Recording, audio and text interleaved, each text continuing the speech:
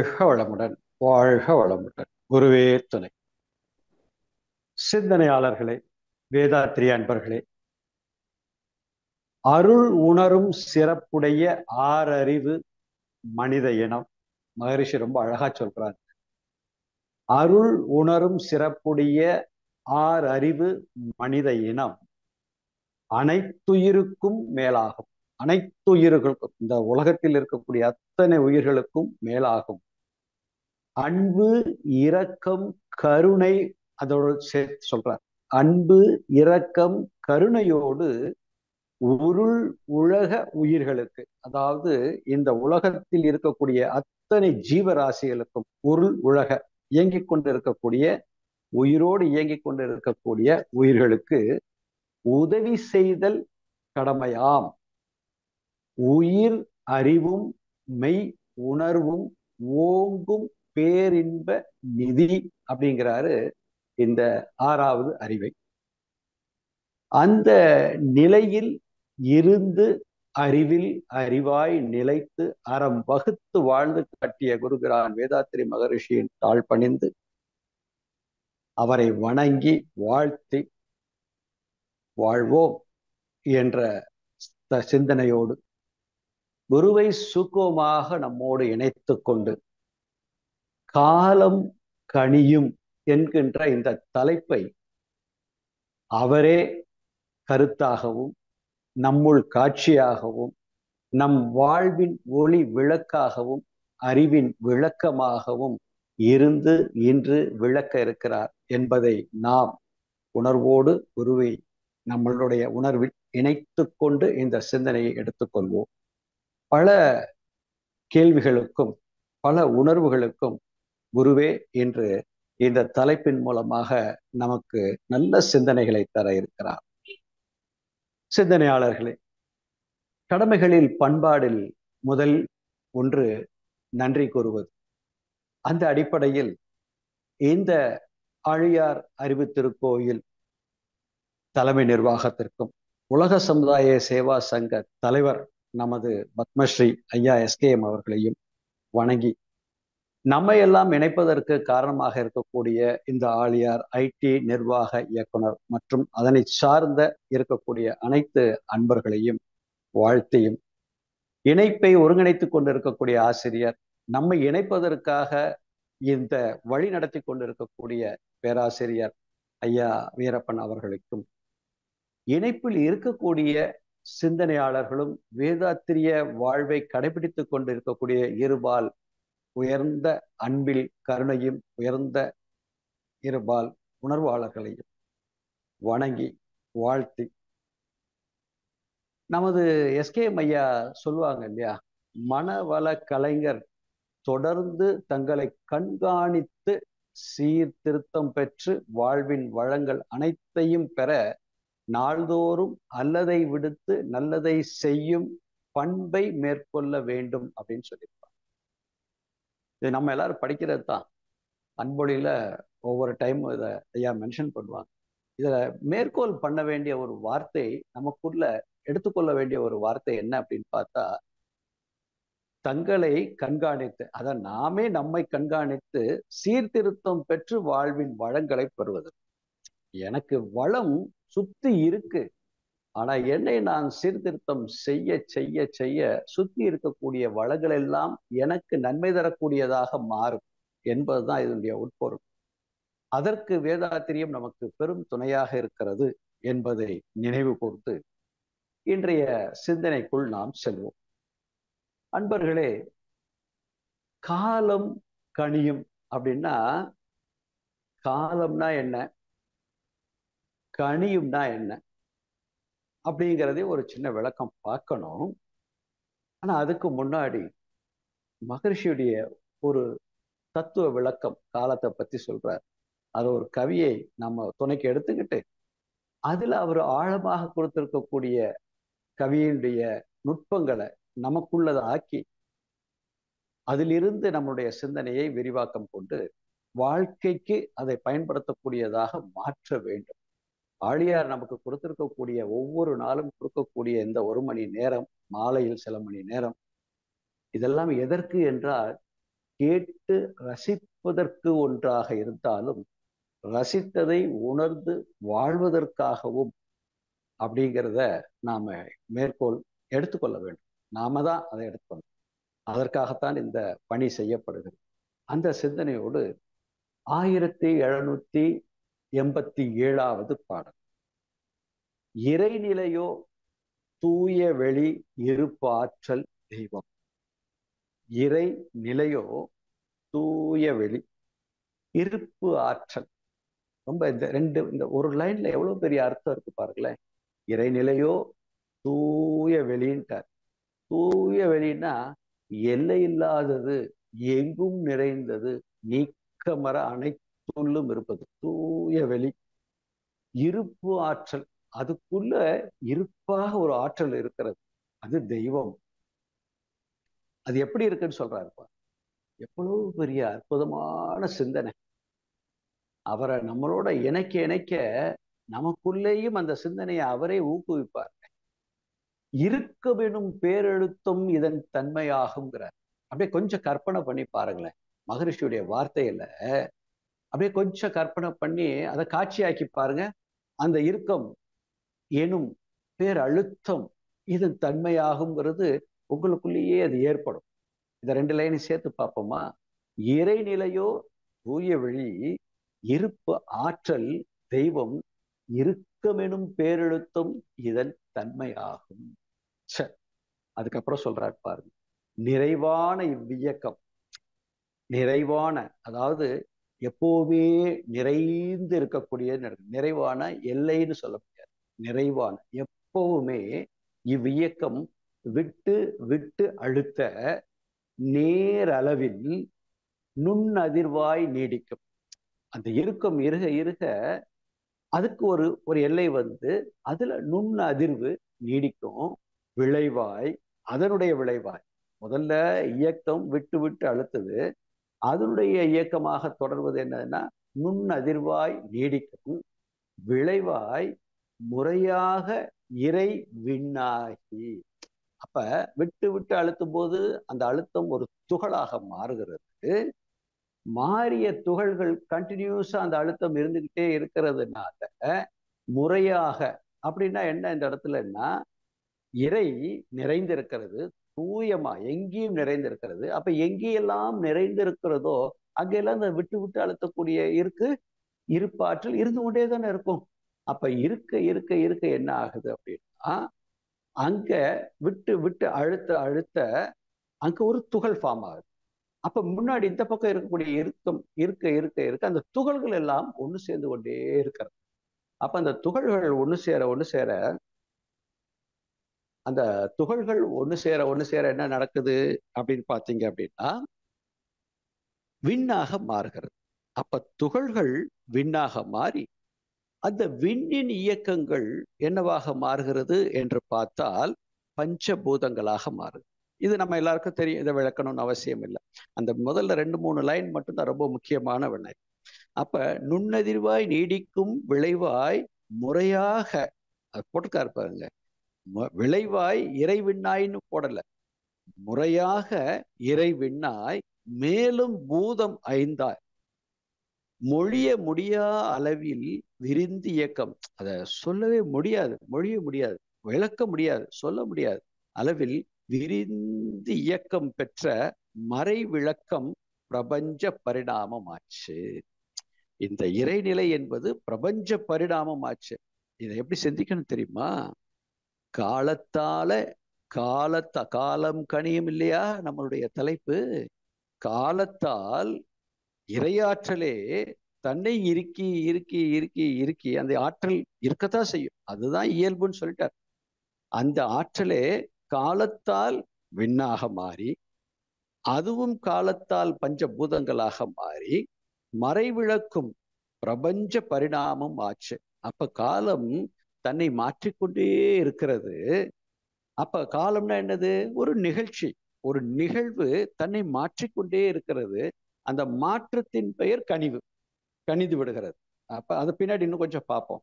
அப்ப அதுக்கு பேர் தான் என்னது? பரிணாமம் ஆச்சு என்ன பரிணாமம் ஆச்சு பஞ்சபூதங்களாக பரிணாமம் ஆச்சு மனம் இப்ப வர்றாரு உள்ள. மனம். மனம்னா யார்கிட்ட இருக்கு? மிருகங்கள்ட்டையும் இருக்கு. ஆனா சிந்திக்கக்கூடிய ஆற்றல் யார்கிட்ட இருக்கு? மனிதனிடத்துல இருக்கு. அதுதான் அந்த முதல் கவியில நமக்கு என்ன சொன்னார் அவரு? உயிர்கள் அறிவு மெய்யுணர்வும் ஓங்க பேரின்ப நியதி அப்படின்னு சொல்லிட்டார். அப்ப அந்த நிலையிலிருந்து நம்ம பார்க்கும் பொழுது மனம் இந்த இரண்டு நுண்ணதிர்வுகளையும் காலம் என கருதும். மகரிஷி சொல்றார். அப்ப மனதால் இதை கற்பனை பண்ணி பார்க்கும்போது அந்த துகள்கள் ஒன்றோடு ஒன்று ஒன்றோடு ஒன்று சேர்ந்து சேர்ந்து சேர்ந்து சேர்ந்து விண்ணாக மாறுகிறது. அது ஒரு காலம். அது விண்ணாக மாறிய பிறகு விண்களின் கூட்டு ஒன்று சேர்ந்து ஒன்று சேர்ந்து சரியான மனிதாச்சாரத்தின்படி பஞ்சபூதங்களாக ஒன்றொன்றாக மாறிக்கொண்டிருக்கிறது. அது ஒரு காலம். அப்ப ஒவ்வொரு காலத்திற்கும் ஒவ்வொரு இடைவேளை இருக்கிறது. அந்த ஒவ்வொரு இடைவேளையிலும் ஒவ்வொரு நிகழ்வுகள் நடக்கிறது. அப்ப காலம் என்பது ஒரு நிகழ்வுன்னு வச்சுக்குவோமா? கனிவு என்பது அதில் ஏற்படுகின்ற ஒரு மாற்றம்னு வச்சுக்குவோம் இரையாற்றலே காலத்தால கனியுதே. அப்ப நம்ம வாழ்க்கை காலத்தால கனியும் இல்லையா? அதை புரிந்து கொள்ளக்கூடிய ஆறாவது அறிவு தானே நம்ம கிட்ட இருக்கு. அப்ப இந்த இறை இந்த ஒரு பாடலை வச்சே நம்ம வாழ்க்கைய சிறப்பா கொண்டு போறதுக்கு முயற்சி எடுப்போமா? சரி அப்ப காலம் கனியும் என்பது இயற்கை நியதி அது இயல்பு அப்படின்னு எடுத்துக்குவோமா? ரைட் கனியும் காலம்னு இந்த வார்த்தையை கொஞ்சம் மாத்தி போட்டு பார்ப்போம்மா. காலம் கனியும் அப்படிங்கிறது இயற்கை நியதி. அது இயல்பு. அந்த தன்மாற்றத்தை பாடலை வச்சுக்கோங்க. கனியும் காலம் அப்படின்னு நாம அதை கொஞ்சம் மாத்தி போட்டு நம்ம நம்ம இந்த கனியும் காலம்ங்கிறது என்ன அப்படின்னா நம்மளுடைய எதிர்பார்ப்புன்னு வைப்போம். ஆனா மகரிஷியுடைய கணக்குப்படி என்னது? எதிர்பார்க்க கூடாது அப்ப கணக்கிடுதல்னு வைப்போமா? ரைட் அப்ப கணக்கிடுதல்னு வைப்போம். அப்ப கனியும் காலம் அப்படிங்கிறது கணக்கிடுதல் திட்டமிடுதல் அப்படின்னு வச்சுக்கோமா ஒரு கணக்குக்கு எடுத்து பார்ப்போம். அதற்கு என்ன மகரிஷி நமக்கு ஒரு சிந்தனையை கொடுக்குறாருன்னா இயற்கை நியதியை அறியும் மதியின் ஆற்றல் மதியின் நுட்பமே கனியும் காலத்தினுடைய செயல்களை நமக்கு தரக்கூடிய ஒரு கருவி அப்படின்னு நம்ம இங்கே எடுத்து பார்க்கணும். சொல்றது நல்லா ஒன்று கொண்டு திருப்பி இருக்க சொல்றேன். காலம் கனியும் என்பது இயற்கை அந்த இறைநிலை தன்னை மாற்றிக்கொண்டே வரக்கூடிய ஒரு நிலையில் கனிந்து கனிந்து கனிந்து கனிந்து பஞ்சபூதங்களாகி பிரபஞ்ச பிரபஞ்சமாகி பிரபஞ்சத்தில் இந்த பூ உலகம் தோன்றி இந்த பூ உலகில் ஒரு குறிப்பிட்ட விகிதாச்சாரத்தில் அந்த பஞ்சபூதங்கள் சேர்ந்ததுனால சரியான விகிதாச்சாரத்தில் சேர்ந்ததுனால உயிரினங்கள் தோன்றி ஒன்று முதல் ஆறு வரைக்கும் வந்த காலம் எத்தனை? எத்தனை கோடி? எத்தனை கோடி ஆண்டுகள்? மனித இனம் வந்து எத்தனை கோடி ஆடிகள் இந்த மனித இனம் தன் அறிவை வளர்த்து கொள்வதற்கு எத்தனை லட்சம் ஆண்டுகள்? ஆனால் இந்த இருபதாம் நூற்றாண்டில் குறைந்த அளவில் அதாவது ஒரு ஐம்பதே வருடத்துல எத்தனை மனித ஆறாவது அறிவினுடைய தன்மையை உயர்த்தி இருக்குது பாருங்க இந்த வேதாத்திரியமும் நம்மளுடைய குருபிரான் வேதாத்திரி மகரிஷியும் அது எவ்வளவு பெரு பெருசு எவ்வளவு பெரிய ஆச்சரியம் பாருங்க. அதை மனசில் வைத்துக்கொண்டு கனியும் காலம் அப்படிங்கிற வார்த்தைக்கு ஒரு விளக்கத்தை எடுத்து பார்த்தோம்னா இயற்கை நியதியை அந்த காலம் கனியும்கின்ற இயற்கை சட்ட நியதியை அறியும் மதி நுட்பம்தான் கனியும் காலம்னு நம்ம மனசுல எடுத்துக்கணும். திட்டமிடுறதுக்கு எடுத்துக்கொள்ள வேண்டும். இதுக்கு என்னெல்லாம் வேணும்னு முதல்ல பார்ப்போமா? ஒரு சமையல் செய்யணும்னா என்ன சமையல் செய்ய போறோம்னு முதல்ல ஒரு திட்டம் போடுவோம். அந்த திட்டத்தை முதல்ல போட்டாச்சு. அந்த சமையல் செய்வதற்கு உண்டான பொருட்கள் இருக்கணும் அப்ப அந்த அந்த பொருள் என்னன்னு பார்ப்போமா? இப்ப ஃபர்ஸ்ட் திங் உணர்வு நிலைக்கு நாம் மாற வேண்டும். உணர்ச்சி நிலையிலிருந்து. அப்ப உணர்வு நிலைன்னா என்ன? நம்ம எல்லாருக்கும் நல்லா தெரியும். உயிரை உணர்தல். அதுதான் தவம். அதெல்லாம் பின்னாடி விளக்கம் பார்ப்போம் அந்த விளக்கம் இப்ப நமக்கு தேவையில்லை. உங்க எல்லாருக்கும் அது நல்லா தெரியும். அப்ப உணர்வு நிலை. சரிங்க. தவம் செய்யும் பொழுது மட்டும்தான் எனக்கு உணர்வு நிலை இருக்கு. மீதி நேரத்துல இல்லை. அப்படின்னா மகரிஷியுடைய இன்னொரு பாடல் இருக்கு பாத்தீங்களா? எப்பொருளை எச்செயலை எக்குணத்தை எவ்வுயிரை ஒருவர் அடிக்கடி நினைத்தால் அந்த தன்மைக்கு உங்களை உயர்த்தி கொள்ள வேண்டும். அந்த தன்மைக்கு உயர்த்திட்டீங்கன்னா உணர்வு தன்மை வந்துடும் சரிங்க. உணர்வு தன்மை வந்துருச்சு. அதனால விளைய போறது என்ன?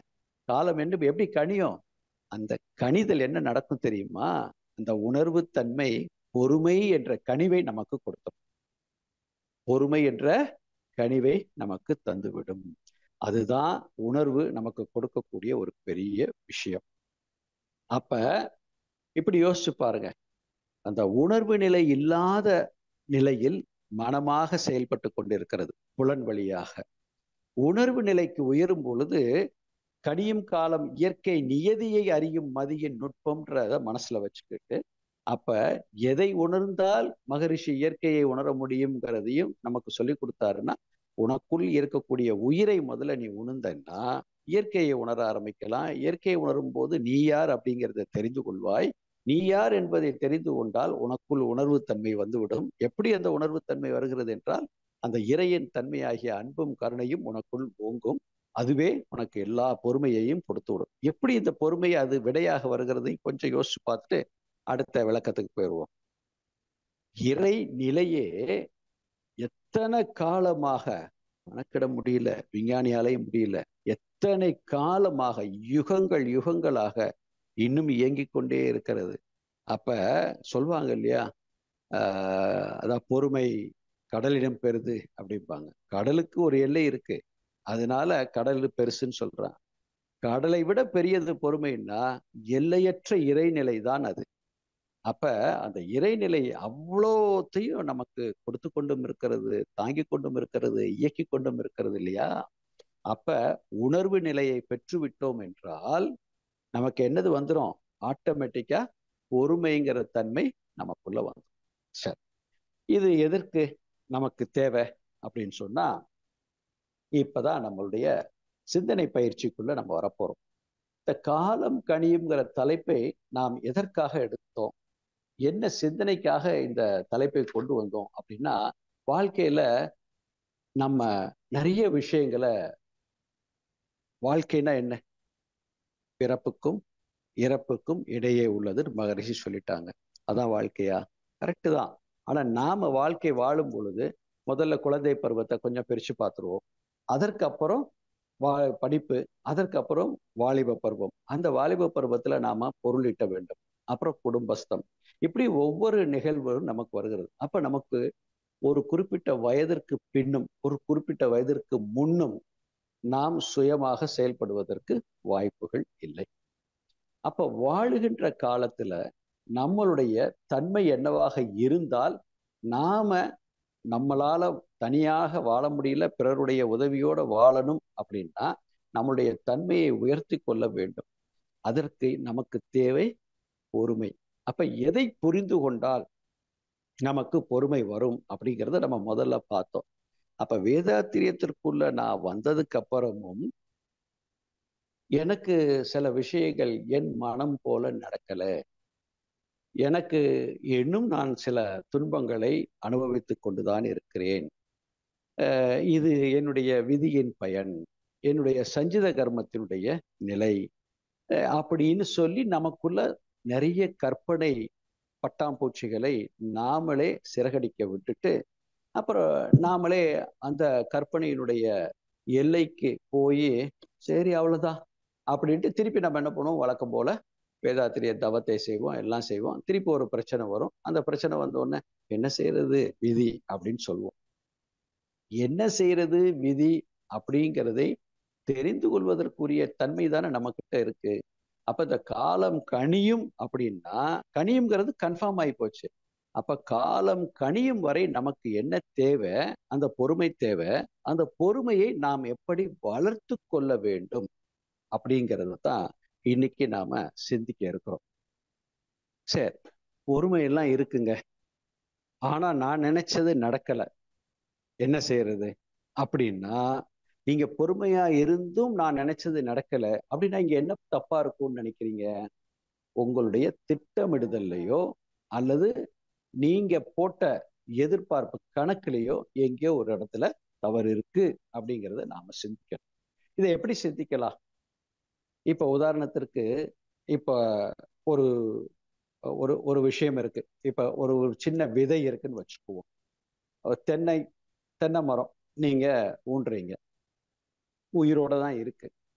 அது வளர்கிறது வளர்கிறது ரெண்டு வருஷம் ஆகுது மூணு வருஷம் ஆகுது. அது பலன் கொடுக்கறதுக்கு மினிமம் இப்போ உள்ள கண்டிஷன் விஞ்ஞான வளர்ச்சியில மூன்று வருடங்களுக்கு அப்புறம்தான் அது பூக்கும். அந்த பூத்தது அனைத்தும் காய்ப்பதில்லை. சில காய்க்கும். சில காஞ்சி சின்ன சின்னதாக கீழே விழுந்துரும். அதற்கப்புறம் அதுக்கு ஒரு ஸ்டேஜ் வந்ததுக்கு அப்புறம் தான் அது முத்தும். அப்ப அது முத்து வரைக்கும் அப்போ இதிலிருந்து இது வரைக்கும் போகக்கூடிய காலம் கனியும் வரை நாம் காத்திருக்கிறோமா இல்லையா? அதற்கப்புறம் தானே அதை அறுவடை செய்கிறோம். ஒரு இதே மாதிரிதான் ஒவ்வொரு விஷயத்தையும் எடுத்து பாருங்க. அரூபமாக நம்மளையே எடுத்து பார்ப்போமே.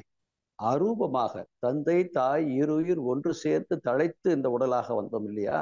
அப்ப அரூபமாக இருந்த நான் தந்தை தாயின் உயிரின் சேர்க்கையால் என்னவாக மாறினேன்? சின்ன கருவாக மாறினேன். அந்த கரு காலத்தால உருவாக மாறுகிறது. அந்த உரு காலத்தால அதனுடைய முதிர்ச்சியை பெற்றவுடனே ஒரு குழந்தையாக வெளியே வருகிறது. வந்ததுக்கு அப்புறம் அது கொஞ்சம் கொஞ்சமாக வளர்கிறது. அப்ப ஒரு அஞ்சு வயசு பத்து வயசு அப்ப குழந்தை பாலகன் இளைஞன் இப்படி ஒவ்வொரு நிலையாக உயர்ந்து உயர்ந்து வருகிறது. இது காலத்தால தானே மாற்ற முடியும்? அப்ப ஒரு குழந்தை வித்தாக அப்ப இரையாக இருக்கக்கூடிய அரூபமாக இருக்கக்கூடிய ஒரு வித்து ரூபமாக மாறுவதற்கு எத்தனை காலம் எடுத்துக்கிறது? அதே சமயத்தில் பிறந்ததை போலவே நாம் இன்று வரையும் இருக்கிறோமானா? இல்லை. காலத்தால் அந்த மாற்றங்கள் ஏற்படுத்தி கொண்டே இருக்கிறது. இதுதான் இயற்கையின் நியதி. அப்ப எனக்கு ஒரு எண்பது வயசுல ஆக வேண்டிய ஒரு விஷயம் எண்பது வயசுல தான் அது நடக்கும். ஆனா அது அறுபது வயசுல நடக்கணும். அல்லது நாற்பது வயசுல நடக்கணும் அப்படின்னா முடியுமானா முடியாது. முப்பது வயசுல செய்ய வேண்டிய ஒரு விஷயத்தை நாம அறுபது வயசுல செய்யணும்னு நினைச்சாலும் தப்பு கணக்கிட்டு தான் ஒன்று எதிர்பார்த்தால் ஒப்புமோ இயற்கை அப்ப இந்த மாதிரி எங்கேயோ நாம நம்மளுடைய திட்டமிடுதல்ல ஒப்பிடுவதில் தவறு செய்கிறதுனால தான் இந்த காலம் கனிவதை நாம் புரிந்து கொள்வதில்லை. நல்ல ஞாபகம் வச்சுக்கணும். காலம் கணிந்து கொண்டுதான் இருக்கிறது. இந்த கணிந்து கொண்டிருக்கக்கூடிய காலத்தை நாம் புரிந்து கொள்வதில்லை. இதுதான் ரொம்ப முக்கியமான விஷயம். சரி இப்ப இந்த காலம் கணிகிறது காலம் கணிகிறது இப்ப உடல் ரீதியாகவும் பார்த்துட்டோம் ஒரு செடியின் மூலமாகவும் பார்த்தோம் இப்ப இப்படி எடுத்து பார்ப்போமே. காலம் என்பது மகரிஷி நமக்கு பற்றார்பு பேராற்றல் பேரறிவு காலம் அப்படின்னு சொல்லி பிரிச்சுட்டாரு. அதுல சில விளக்கங்கள் கொடுத்துருக்கிறாரு. அது ஒரு பாடல் இருக்கு. அது கடைசியாக பார்க்க போறோம். இதுக்கு இடையில வாழ்க்கையில நமக்கு பொறுமையை எப்படி வளர்த்து கொள்ள வேண்டும் என்பதற்காகத்தான் இந்த ஒரு முக்கியமான விளக்கங்கள். நீதி எல்லாமே உங்களுக்கு தெரியும். தவம் எப்படி பண்ணணும் அகத்தாய்வு எப்படி பண்ணணும் அப்படிங்கிறது எல்லாம் இணைந்து இருக்கக்கூடிய அத்தனை அன்பர்களுக்கும் தெரியும். ஒருவேளை புதிய அன்பர்கள் யாரும் இருந்தீங்கன்னா அவர்கள் இந்த விளக்கத்தில் உங்களுக்கு ஏதாவது சந்தேகம் இருந்தா அப்புறம் கேளுங்க. அதே சொல்லலாம். அதை விட முக்கியம் புதிய அன்பர்கள் தொடர்ந்து உங்க அருகில் இருக்கக்கூடிய வீட்டு அருகில் இருக்க மன்றங்களுக்கு சென்று முழுமையாக இந்த விளக்கங்களை பெற்றுக்கொண்டீங்கன்னா இன்னும் உங்க வாழ்க்கையை எப்போவுமே கனிவாகவும் இனிவாகவும் வைத்துக்கொள்ளலாம் அதுதான் ரொம்ப முக்கியம். கனிவு அப்படிங்கிறது நிறைய அர்த்தங்கள் அதுக்கு இருக்கிறது கனிந்து கனி அப்படின்னு எடுக்கலாம் கனிவுன்னு எடுக்கலாம். அப்ப எந்த வகையில மாற்றங்கள் அப்படின்னு இருக்கலாம் நம்மளுடைய முன்னோர்கள் சொல்லியிருக்காங்க இல்லையா? மாற்றம் ஒன்றே மாறாது. எது சொல்லியிருக்காங்கன்னா இந்த இறைநிலையை தான் சொல்லியிருக்காங்க மாறிக்கொண்டே இருக்கக்கூடிய அப்ப இந்த உடலுக்குள்ள நாம சாப்பிடுகின்ற உணவு முதற்கொண்டு என்னவாக மாறுகிறது? ஏழு தாதுக்களாக மாறுது. அதற்கும் ஒரு காலகட்டம் தேவை இல்லையா அந்த காலகட்டத்தின் அடிப்படையில தான் ஏழு தாதுக்களாக மாறுது. இப்படி ஒவ்வொரு விஷயங்களும் இயல்பாகவே அதற்குரிய காலத்தை எடுத்துக்கொண்டுதான் தன்மாற்றம் அடையும். இப்ப உதாரணத்திற்கு பூமி. இருபத்தி நாலு மணி நேரம் சுற்றுகிறது. இருபத்தி மூணு புள்ளி சில்லற அந்த ஒரு ஒரு நிமிடம் என்னமோ வித்தியாசம் வரும். அது சரியாக நான் பதிவு செய்யறதுக்கு தெரியல. இருபத்தி அது ஒரு நிமிடம் என்னவோ குறையும் நினைக்கிறேன். அப்ப அது எப்படி நடக்கிறது? அதனுடைய இயக்கம். அப்ப காலம் எப்படி மாறுகிறது? பகல் இரவு. இந்த பகல்லையே எப்படி காலமாக பிரிக்கிறார்கள்? அதிகாலை. அப்ப அந்தி பொழுது மாலை. உச்சி இரவு நண்பகல் அப்ப நடு நிசி இப்படி பல வகையாக காலங்களை பிரித்து கொண்டே இருக்கிறார். அப்போ ஒரு காலத்தின் எல்லை அதுதான் கனிவு. ஒரு காலத்தின் எல்லை தான் என்னவாக மாறுகிறது? கனிவாக கனிந்து விடுகிறது. அது மாறி விடுகிறது அப்ப காலத்தின் எல்லை தன்மாற்றம் அடைந்த உடனே கனிந்து விடுகிறது. அடுத்ததை உற்பத்தி செய்ய ஆரம்பிச்சிருது. இதை புரிந்து கொண்டு நாம் வாழ வேண்டும். இதை அப்படியே மனசுல வச்சுக்கோங்க. இப்ப அந்த நிலையில் நாம் எடுத்து பார்க்கிறோம் அப்படின்னோம்னா இந்த இயற்கைக்கு இருக்கக்கூடிய காலங்களை நாம் முதல்ல புரிந்து கொள்ள வேண்டும். இந்த இயற்கைக்கும் இந்த உடலுக்கும் இருக்கக்கூடிய காலத்தை மகரிஷி வாழ்க்கை தத்துவத்துல ரொம்ப அழகா எடுத்து சொல்லியிருப்பாரு. முக்கூட்டு வாழ்க்கை சொல்லியிருப்பார். நான் இயற்கை சமுதாயம். அப்ப இந்த நான் அப்படின்னு சொல்லக்கூடிய ஒவ்வொரு மனிதனுடைய இண்டிவிஜுவலும் ஏதோ சார்ந்து இருக்கிறது இயற்கை சார்ந்துதான் இருக்கிறது. அப்ப இயற்கை இந்த ரெண்டும் சேர்ந்து இணைந்து இருக்கக்கூடிய ஒரு நிலைதான் சமுதாய அமைப்பு. அப்படின்னு சொல்லி மகரிஷி நமக்கு அதை பத்தி ரொம்ப அழகா தெளிவா சொல்லியிருக்கிறார். அதை இன்னொரு இடத்துல ஒரு கவியில நமக்கு சொல்றார். அதையும் இப்ப கொஞ்சம் நம்ம எடுத்துக்குவோம். இது இந்த ஒரு விளக்கத்துக்காக எடுத்துக்கொள்வோம். அப்ப இயற்கையே நமக்கு எப்படி மாற்றம் கொடுக்கிறது? நம்மளுடைய உடல் நிலத்தை சரியாக வைத்துக் கொள்வதற்கு பகல் பனிரெண்டு இரவு பனிரெண்டு மணி நேரம் பிரித்து காட்டுகிறது. குளிர்காலம் வசந்த காலம் கோடை காலம் இதையுறு காலம் இப்படின்னு பிரிச்சு பிரிச்சு பிரிச்சு ஒவ்வொன்றா இருக்கு. இதெல்லாம் எதற்கு? இந்த உயிரினம் இந்த இயற்கையோடு இணைந்து தன்னை வாழ்த்து கொண்டே வந்தா அது எப்படி கணிகிறதோ அதே போல அண்டத்தில் இருக்கக்கூடியது அனைத்தும் இந்த உடலுக்குள் பிண்டத்துக்குள்ளும் இருப்பதனால அதுல என்னென்ன மாற்றங்கள் ஏற்படுகிறதோ அந்த மாற்றங்கள் எல்லாம் இந்த உடலுக்குள்ளும் ஏற்படும். சரி இது மெட்டபாலிக் சிஸ்டம் இந்த மெட்டபாலிக் சிஸ்டம் சரியாக இயங்கவில்லை என்றால் தான் நம்மளுடைய ஆறாவது அறிவினுடைய தன்மை ரசாயன மாற்றம் ஏற்பட்டு உங்க எல்லாருக்கும் தெரியும் இல்லையா? காந்தம் முதல்ல ரெண்டு தன்மை ரசாயனமாக அதாவது மின்சாரமாக மாறுகிறது. அடுத்த இரண்டு தன்மை ரசாயனமாக மாறும். அப்ப மின்சாரத்தினுடைய அளவு நிலை மாறும்போது உடலில் இருக்கக்கூடிய ரசாயன மாற்றங்கள் ஏற்படும் பொழுது நமக்குள் உணர்வு தன்மை என்பது நிரந்தரமாக இருக்காது. இந்த இடத்துல நீங்க இதை நல்லா நோட் பண்ணிக்கணும். ஏன் நமக்குள்ள குழப்பங்கள் வருது? ஏன் நம்ம வாழ்க்கையில பல சிக்கல்களை நாம ரொம்ப டிசிப்ளின்டு வேதாத்திரிய நடைமுறை வாழ்க்கை வாழக்கூடிய வேதாத்திரிய அன்பர்களாக நாம வாழ்ந்தும் நமக்கு பல சிக்கல்கள் ஏற்படுகிறது என்றால் தீதும் நன்றும் தான் தர வருமேன் மகரிஷி சொல்லுவாங்க இல்லையா? அப்ப என்னுடைய செயல் விளைவினால் வந்த துன்பத்திற்கு பொறுப்பு நான் தான். அது என்னை சார்ந்து எந்த துன்பம் வந்தாலும் அதுக்கு பொறுப்பு நான் தான். அதற்கு செயல் விளைவு செயல் முச்சென்மத்தில் உள்ள செயல் விளைவாகவும் இருக்கலாம். அதான் சஞ்சிதமாகவும் இருக்கலாம். பிராரப்தமாகவும் இருக்கலாம். ஆனா ஆகாமியம் என்பது நம் கையில் இருக்கிறது.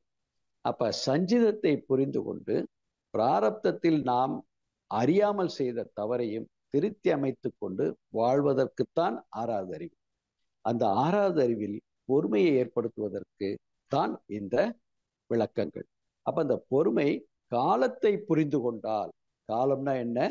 இந்த இயற்கையை புரிந்து கொண்டால் இயற்கையினுடைய இயக்கங்களை புரிந்து கொண்டால் இயற்கை தன்மாற்றம் அடையும் போது ஏற்படுகின்ற கனிவுகளை புரிந்து கொண்டால் அதுதான் மகரிஷி நமக்கு துரியாதித தவம் கொடுத்த போது நமக்கு ஒரு கனி கொடுத்து அந்த தவத்தை நிறைவு செய்வாங்க. எனக்கு கிடைத்த தகவல் படி பார்க்கும் பொழுது கனி மீண்டும் காயாவதில்லை. அது முற்றிய நிலையில் வித்தாக மாறிவிடும். வித்துத்தன்மை உள்ள இருக்கும். கனிந்தது மீண்டும் மாறுவதில்லை. அப்ப நம்முடைய ஆறாவது அறிவு கனியாக மாறிவிட்டால் கனிந்து விட்டால் கனியாகனா பழமாக அதான் பழம் நீ அப்பா அப்படின்னு நம்ம சொல்றோம் இல்லையா? பழம் என்றால் பக்குவம் அடைதல். கனி என்பது பக்குவம் அடைதல் என்பது ஒரு பொருள் விளக்கம். அப்ப இந்த ஆறாவது அறிவு அப்ப ஆறாவது அறிவை நம்ம எப்படி எடுத்துக்கணும்னா காலம் அப்படின்னு எடுத்துக்கணும். எப்படி ஏன் இதை காலம்னு எடுக்கணும்னா அறிவேதான் தெய்வம் என்றார் தாய்மானார் நமக்கு ஒரு பாடல்ல விளக்கியிருக்கார். அப்ப அந்த அறிவு எங்கேருந்து வந்தது? பேரறிவாகிய அந்த சுத்தவெளிதான் நமக்குள் ஆறாவது அறிவாக இருக்கிறது.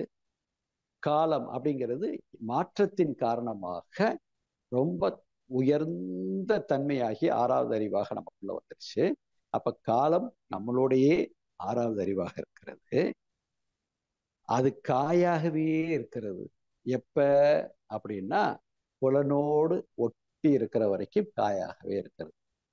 புலனை விட்டு கொஞ்சம் பிரிந்து விட்டது என்றால் கொஞ்சம் விலகிதான் இருக்கணும். வேற ஒண்ணும் இல்லை. துறவு இல்லை.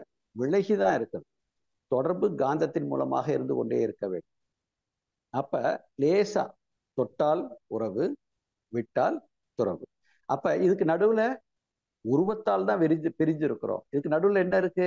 காந்தம் இருக்கு. அப்ப இந்த காந்த உறவின் மூலமாக இந்த புலன்களையும் கனிய வைத்து விட்டால் அதற்கு தான் ஆறாவது அறிவு இந்த புலன்களையும் பக்குவப்படுத்தி விட்டால் கனிந்து விட்டால்னா என்ன அர்த்தம்? பக்குவப்படுத்தி விட்டால். அப்ப புலன்களை பக்குவப்படுத்துவதற்கு தான் பஞ்சேந்திரிய தப்பம் எதை கொண்டு? ஆறாவது அறிவை கொண்டு. ஆறாவது அறிவு என்னது? காலம்.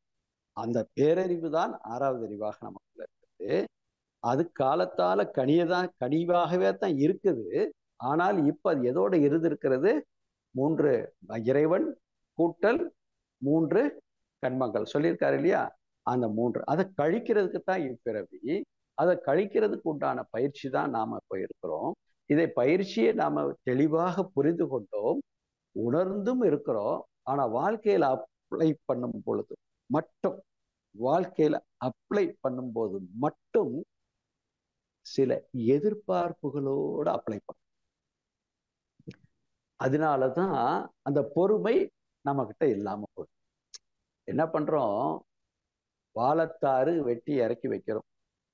அது பூவாகி அப்புறம் முட்டா முட்டாகி பூவாகி அதுக்கப்புறம் அது பிஞ்சாகி மரத்துல அறுக்கிற வரைக்கும் பொறுமையா இருக்கக்கூடிய நாம தானா பழுக்கிற வரைக்கும் பொறுமையாக இல்லை. என்ன செய்யறோம் வெட்டி ஒரு ரூமுக்குள்ள போட்டு மூட்டம் போட்டு அதை பழுக்க வச்சு உடனே சாப்பிட்றோம். நோய் அதனால தான் வந்து அதே போல தான் எதிர்பார்ப்பு அப்படிங்கிற ஒரு மூட்டத்தை மூட்டம்னா இந்த இடத்துல ஒரு ஒரு ஆர்டிஃபிஷியல் அழுத்தத்தை.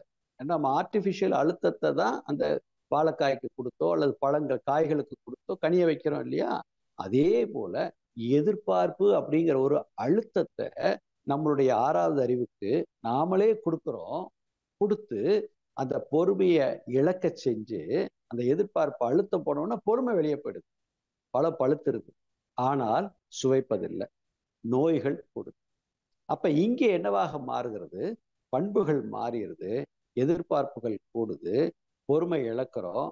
அந்த பொறுமை இழந்த உடனே அது நடக்க வேண்டிய நேரத்துல நடக்காம ஒன்று முன்னையோ அல்லது பின்னையோ அல்லது காலம் தாழ்த்தியோ நடக்கும் பொழுது நாம வேதனைப்பட்டுக்கிறோம். என்ன வேதனைப்படுறோம்? என்னத்தை செய்ய? இவ்வளவு தூரத்துக்கு நான் பக்குவமா இவ்வளவு தூரம் கடைபிடிச்சிருக்கேன். ஆனா கடைசியில எனக்கு பாரு எப்படி நடக்குது அப்படின்னு சொல்லி சங்கடப்பட்டுக்கிறோம். இது ஒரு வகை. இன்னொரு வகை என்ன தெரியுமா?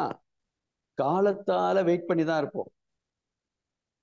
பொறுமையா எதிர்பார்ப்புகளே இல்லாத நிலையில் வாழ்ந்து கொண்டிருப்போம். அப்பவும் நமக்கு சோதனை வந்து கொண்டே இருக்கும். அது பல பேருக்கு இந்த எண்ண ஓட்டங்கள் ஓடிக்கொண்டு இருக்கும். அங்க நான் எதையுமே எதிர்பார்க்கலங்க. என் வாழ்க்கை துணைகிட்ட நான் எதிர்பார்க்கல. என்னை சுற்றி இருக்கக்கூடிய உறவுகள்கிட்ட நான் எதை எதிர்பார்க்கல. நண்பர்கள்ட்ட எதிர்பார்க்கல. ஆனால் எனக்கு துன்பம் வந்து கொண்டே இருக்குதுங்க. என்ன செய்யறது அப்படின்னா மகரிஷி அதுக்கு தான் ஒரு விளக்கம் சொல்லியிருக்காரு. அந்த துன்பம் இன்னல் புரிவோர் எதிரிகளாக நினைப்போர் கருத்துக்கு மாறுபட்டோர் எவரேனும் இருந்தால் அவர்களும் மனம் திருந்தி நல்வாழ்வு பெற கருணையோடு வாழ்த்துங்கள் சொல்லியிருக்காரு. ஏன் தெரியுமா? இந்த துன்பம்லாம் அந்த லிஸ்ட்ல வர்றது தான் ஏன்னா நம்மளையும் அறியாமல் எப்பவோ செய்த செயல் பூர்வத்தில் செய்த செயல் அந்த செயலினுடைய அந்த விளைவு யார்த்தோ யாரோ ஒருத்தர் மூலமா வெளியே வரணும். ஆனா இப்ப இந்த ஆகாமியத்துல நாம என்ன பண்றோம்னா வேதாத்திரியத்தை முழுசாக ஏற்று குருவை மனதில் ஏற்றி நாம பொறுமை எதிர்பார்ப்பு இன்மை நன்மை செய்தல் அறம் இந்த கடைபிடித்து வாழ்ந்து கொண்டு இருக்கிறோம் அப்பவும் நமக்கு ஒரு துன்பம் வருது அப்படின்னா இந்த துன்பத்துல தான் நாம என்ன செய்யணும் அப்படின்னா ஏற்றுக்கொள்ள வேண்டும். அக்செப்ட் ஆஸ் இட் இஸ் அப்படின்னு மகரிஷி சொல்றார். யாரோ ஒருத்தர் லேசா ஒரு துன்பம் கொடுத்தாங்க அக்செப்ட் நகைச்சுவை மகரிஷின்னு சொல்லுவார் அவர் நம்மளோட பெரிய ஆளா இருப்பாரு. அவர்கிட்ட சண்டை போட்டோம்னா சிக்கல் சொல்லி அக்செப்ட் ஆஸ் பரவாயில்லைங்க நீங்க போயிட்டு வாங்க நம்ம சொல்லிட்டு வருவோம். அதல்ல நீ எல்லா வகையிலையும் கரெக்டாக இருந்து உன் மனம் அறிய ஆகாமியத்தில் நீ சீரும் சிறப்பு சிந்தனையை சீர்தூக்கி வாழக்கூடிய ஒரு தன்மை வந்ததுக்கு அப்புறமும் உனக்கு ஒரு துன்பம் ஏற்படுகிறது என்றால் உன் ஆன்மாவை அது தூய்மை செய்து கொண்டிருக்கிறது. எது? அந்த பேரறிவு. ஏன்னா வாழும் காலத்திலேயே அழிவில் முதுமை பேர் அடைய வேண்டும் அல்லவா வாழும் பொழுது தானே இந்த உடலில் உயிர் இருக்கும் பொழுது தானே நீங்க அறிவில் முழுமை பேறு பெற முடியும். இந்த உடலில் உயிர் இருக்கும் பொழுது தானே ஜீவ பிரம்ம ஐக்கிய முக்தி பெற முடியும். இந்த உயிர் உடலில் இயங்கிக் கொண்டிருக்கும் பொழுது தானே விடுதலை அல்லது பேரறிவோடு இணைதல் அப்படிங்கிற தன்மையை ஸ்வர்க்கம் என்ற ஒரு தன்மைக்கு நாம உயர முடியும். இந்த உடலை விட்டு உயிர் போயிட்டா அப்புறம் என்ன செய்ய முடியும்? செய்ய முடியாது. அப்ப வாழும் பொழுதே உன்னுடைய சஞ்சிதத்தில் இருக்கக்கூடிய சில கர்மங்களை சின்ன சின்ன துன்பங்களாக மனபாரங்களாக பிறர் மூலமாக உங்களுக்கு வருகிறது. ஆனாலும் நீங்கள் வாழ்ந்து கொண்டிருக்கிறீங்க. இந்த இயற்கை உங்களை வாழ வைத்துக் கொண்டுதான் இருக்கிறது. உங்களை எந்த வகையிலையும் கைவிட விட இல்லை. அப்படின்றத நீங்க யோசிச்சு என்ன செய்யணும் அப்படின்னா துன்பத்தை வள்ளுவர் சொன்ன போல எடுக்கண் வருங்கால் நகுக. இதெல்லாம் பேசுறதுக்கு சரிதான் சார். நடைமுறைக்கு ஒத்து வருமா சார்? ஏன் ஒத்து வராது? நடைமுறையில் அத்தனையும் அனுபவித்து கொண்டே தொண்ணூத்தாறு வயசு வரைக்கும் தன்னுடைய தொண்ணூத்தோராவது வயசுலேயும் கவிதைகளை நமக்கு வடித்து கொடுத்திருக்கிறார் அப்படின்னா எத்தனை இன்னல்கள் எத்தனை விஷயங்கள் அவள் வாழ்க்கையில் ஆரம்பத்திலே இருந்து பட்டது எல்லாத்தையும் அவர் பாரமா எடுத்திருந்தாருன்னா வேதாத்திரியம் அப்படிங்கிற ஞான களஞ்சியம் ஒரு பெரிய பொக்கிஷம் நமக்கு கிடைச்சிருக்குமா? நாம இது மாதிரிலாம் பேசிட்டு இருக்க முடியுமா? இல்லை அட்லீஸ்ட் ஒரு வேதாத்திரிய டிசிப்பிள் அப்படின்னு நம்ம சொல்லிக்கிறதுக்கு உண்டான பெருமை நமக்கு கிடைக்குமா? யோசிச்சு பாருங்க. முடியும். அறிவில் அறிவாய் நிலைத்து அறம் வகுத்து வாழ்ந்து காட்டியோர் நினைவு கூறுவோம் மகரிஷி சொல்ற மாதிரி அவங்களெல்லாம் நினைவுக்கு எடுத்துக்கிட்டு வரக்கூடிய துன்பத்தை மனமு வந்து ஏற்றுக்கொள்ள வேண்டும். இதுல என்னங்க பிரயோஜனம் இருக்கு? துன்பத்தை மனம். இப்பதான் யோசிக்கணும். துன்பம் கடித்து விடும். துன்பமே பக்குவப்பட்டு போய்விடும். இது என்ன ஆகும் பக்குவப்பட்டு போகும். இப்ப உதாரணத்துக்கு ஒரு மாற்று வழிச்சாலைன்னு போடுவாங்க. ஏதோ ஒரு பக்கம் ரோடு ரிப்பேர்னா இன்னொரு பக்கம். காலப்போக்கில் அதுவே பழகி போகும். முதல்ல கொஞ்ச நாளைக்கு அது துன்பமா தெரியும். அப்புறம் அதுவே பழகி போகும்.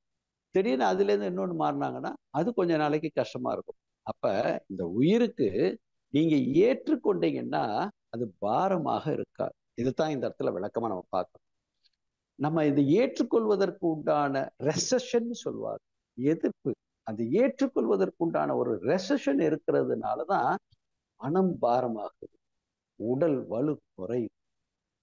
ரெசிஷன் இருக்கக்கூடாது. அப்படியே காற்று ஃப்ளோ போய்கிட்டே இருக்கு பாருங்க. அது ஒரு தென்னை மரத்துல போடும்போது அந்த அப்படியே ஆடும். அந்த இலையே ஆடும். அப்ப அதுல இருக்க அழுத்தத்தை பாருங்க. அந்த இடத்துல மரம் இல்லை அந்த கிளையும் இல்லை அப்படின்னா அது காத்து என்ன ஆகும்? அது பாட்டு போய்கிட்டே இருக்கும். தென்றல் அதே கொஞ்சம் புயலாக மாறிச்சுன்னா கொஞ்சம் வேகமாக மாறும். அதே போலதான் வாழ்க்கையில நீங்க ரெசிஷன் கொடுத்தீங்க எதிர்ப்பு கொடுத்தீங்கன்னா அது உங்களுக்கு துன்பம் பண்படங்காக மாறும். ஏற்றுக்கொள்ளுங்கள். ஏதோ ஒரு காரணத்திற்காக இது நடக்கிறது. சரி இதெல்லாம் ஏற்று என்னங்க நடக்க போகுது? சரி சரி இப்பதான் இன்னொரு கணிவதற்கு உண்டான அப்ப காலம் என்பது ஆறாவது அறிவு. அந்த ஆறாவது அறிவின் துணையை கொண்டு வரக்கூடிய பிரச்சனைக்கு ஒரு சொல்யூஷன் வரணும் அப்படின்னா அந்த பிரச்சனையை பக்குவமாக நம்ம அந்த காலத்துல ஒரு பழமொழி சொல்லுவாங்க இல்லையா?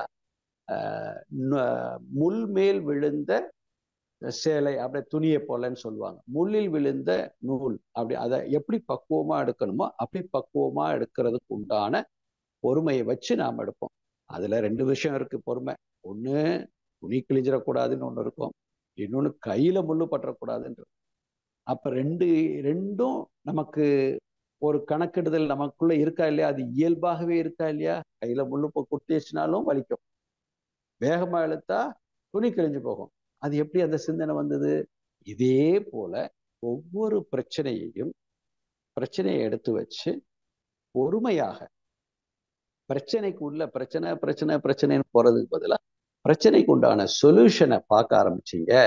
அப்போ உங்களுக்குள்ள மனசுல என்ன நினைப்பு வரணும்னா காலத்தை எடுத்துக்கணும். காலம் எப்படி கணிகிறது? மாற்றம் நடந்து கொண்டே தான் இருக்கும். அப்ப காலம் கணியும் போது இந்த பிரச்சனைக்கும் ஒரு தீர்வு வரும். அப்ப அந்த தீர்வை கொடுப்பதற்கு உண்டான பொறுமையை நாம் வளர்த்து கொண்டோமையானால் ஆனால் அந்த ஆறாவது அறிவு பக்குவப்பட்டு விட்டால் கனி எல்லோருக்கும் சுவையை கொடுக்கும் கொடுக்குமா கொடுக்காதா? உடல் நோய் வாய்ப்பட்டவர்களுக்கு வேணா கனி சுவை இல்லாமல் இருக்கலாம். அப்ப மன நோய் வாய்ப்பட்டவர்களுக்கு கனி சுவை தராது. மன நோய் இல்லாதவர்களுக்கு கனி சுவைக்கும். ஒரு பாவக்காய் பழுத்தால் அதில் கூட ஒரு சுவை இருக்கும். ஒரு இனிப்பு சுவை. அப்ப கசப்புக்குள் இருக்கக்கூடிய இனிப்பை யார் நாவினால் உணர பக்குவம் அடைந்து விட்டதோ அந்த நாக்குக்கு வாழ்க்கையில் வரக்கூடிய எந்த ஒரு துன்பமும் அவர்களுக்கு பெருசாக வர இது ஒரு டெஸ்ட் இதெல்லாம் நீங்க டெஸ்டாக எடுத்து பார்த்து கொள்ள வேண்டும். அப்ப மகரிஷி ஒன்று சொல்றார் பாருங்க. இதை எப்படி நாம பக்குவமா மாத்தணுங்கிறதுக்கு ஒரு விளக்கம் சொல்றார். அது என்ன விளக்கம் அப்படின்னு பார்ப்போமா? வேகத்தின் எல்லையே பருமனாக மாறுது. இத நீ வேகம்னா பிரச்சனையை எடுத்துக்கீங்க. வேகத்தின் எல்லையே பருமனாக விளைந்துள்ளது. நீங்க வேகம் விவேகம் இல்லாமல் ஒரு பிரச்சனையை நீங்க கையாண்டீங்கன்னா அதுவே என்னவாக மாறுகிறது? பூதாகரமா அதன் தொடரே காலமாகும். இந்த இது ரெண்டையுமே சேர்த்தே பார்த்துக்கணும். அதனுடைய தொடரே நமக்கு துன்பமும் ஆகும். இப்ப பாடல் படி ஒரு பக்குவத்தையும் எடுத்துக்குவோம். நம்மளுடைய பிரச்சனைக்கு விளக்கத்தை எடுத்துக்குவோம். வேகத்தின் எல்லையே பருமனாக விளைந்துள்ளது. அதன் தொடரே காலமாகும். அப்ப அந்த வேகம் ஏற்படுவதற்கு உண்டான அவகாசம் என்னவோ அதுதான் காலம் அப்படின்னு சொல்லி சொல்றார். அப்ப ஒரு பிரச்சனையை பெருசாக்குவது விவேகம் இல்லாத சிந்தனையே என்னவாக மாறுகிறது? பிரச்சனையாக மாறு துன்பமாக மாறுகிறது. சரி அடுத்த வழி. வேகம் அது பிளவுபட்டு இயங்கும் பொழுது வேறுபடுத்தும் வெளியின் அளவே தூரம். நீங்க வேகம் அது ரொம்ப அழகா சொல்லியிருக்கார் பாருங்க. வேகம் அது பிளவுபட்டு இயங்கும் போது வேறுபடுத்தும் வெளியின் அளவே தூரம். அப்ப ரெண்டு விண்ணுக்கும் ஏற்ப இடையே ஏற்படுகின்ற பிளவுபட்டு ஏற்படுகின்ற ஒரு டிஸ்டன்ஸ் இருக்கு பாருங்க அதுதான் தூரம். இதுதான் விவேகம். நீங்க வாழ்க்கையில இதை அப்படியே எடுத்து இந்த ரெண்டு வரி எடுத்து வாழ்க்கையில போட்டு பாருங்க. நீங்க சிந்தனையோடு விவேகத்தோடு சிந்திக்க ஆரம்பிக்க போகும்போது பிரச்சனை வேறு சொல்யூஷன் வேறு இதற்கு இதுதான் அப்படின்னு சொல்லி சிந்திக்கக்கூடிய ஒரு டிஸ்டன்ஸ் உங்களுக்கு கிடைக்கும். அடுத்தது எடுத்து பாருங்க. வேகம் பர்மன் காலம் தூரம். பரமானு வாயிற்று. வேகம் பர்மன் காலம் தூரம் இது பரம அணுவாயிற்று. வேகமாய் அணு இயங்க. எது வேகமாக இயங்கிறது அணு. வேகமாய் அணு இயங்க வெளி அழுத்த விளைவு தொடர் நிகழ்ச்சிகளே பிரபஞ்சமாகும். இதைத்தான் நம்ம முதல்லயே பார்த்தோம். அப்ப அந்த ஒரு அழுத்தம் அப்ப அங்க என்ன இருக்குது? ஒவ்வொரு வேகத்திலையும் ஒவ்வொரு தன்மைகள் விவேகம் உள்ளே உள்ளடங்கி உள்ளடங்கியே இருக்கிறதுனால அதையே மகரிஷி என்ன சொல்றாரு பாருங்க? நிகழ்ச்சின்னு சொல்றார். எதை? இந்த பேரியக்க மண்டலமே நிகழ்ச்சி அப்படின்னு மகரிஷி சொல்றார். அப்ப வாழ்க்கையில இருக்கக்கூடிய சின்ன சின்ன பிரச்சனை எல்லாம் நமக்கு கால் தூசு அந்த அங்கேயே அவ்வளோ பெரிய விஷயத்தையே மகரிஷி நிகழ்ச்சின்னு சொல்லும் போது நிகழ்ச்சின்னா என்ன அர்த்தம்? மாறிக்கொண்டே இருக்கும் நிரந்தரம் அல்ல. அப்ப வாழ்க்கையில இருக்கக்கூடிய பிரச்சனை நிரந்தரம் அல்லங்கிற முதல்ல தன்னம்பிக்கை வர வேண்டும். அந்த தன்னம்பிக்கை வருவதற்கு இந்த பாடலை நீங்க எடுத்துக்கொள்ளுங்க. பிரபஞ்சத்திலேயே ஏற்படுகின்ற ஒவ்வொரு இயக்கத்தையும் நமது குருபிரார் வேதாத்திரி மகரிஷி தெளிவாக சொல்லியிருக்கிறார் நிகழ்ச்சிகள் என்று. அப்ப சரி துன்பத்தை மட்டுமா பேசணும்? இப்ப நம்ம இன்பத்தையும் பேசுவோம்.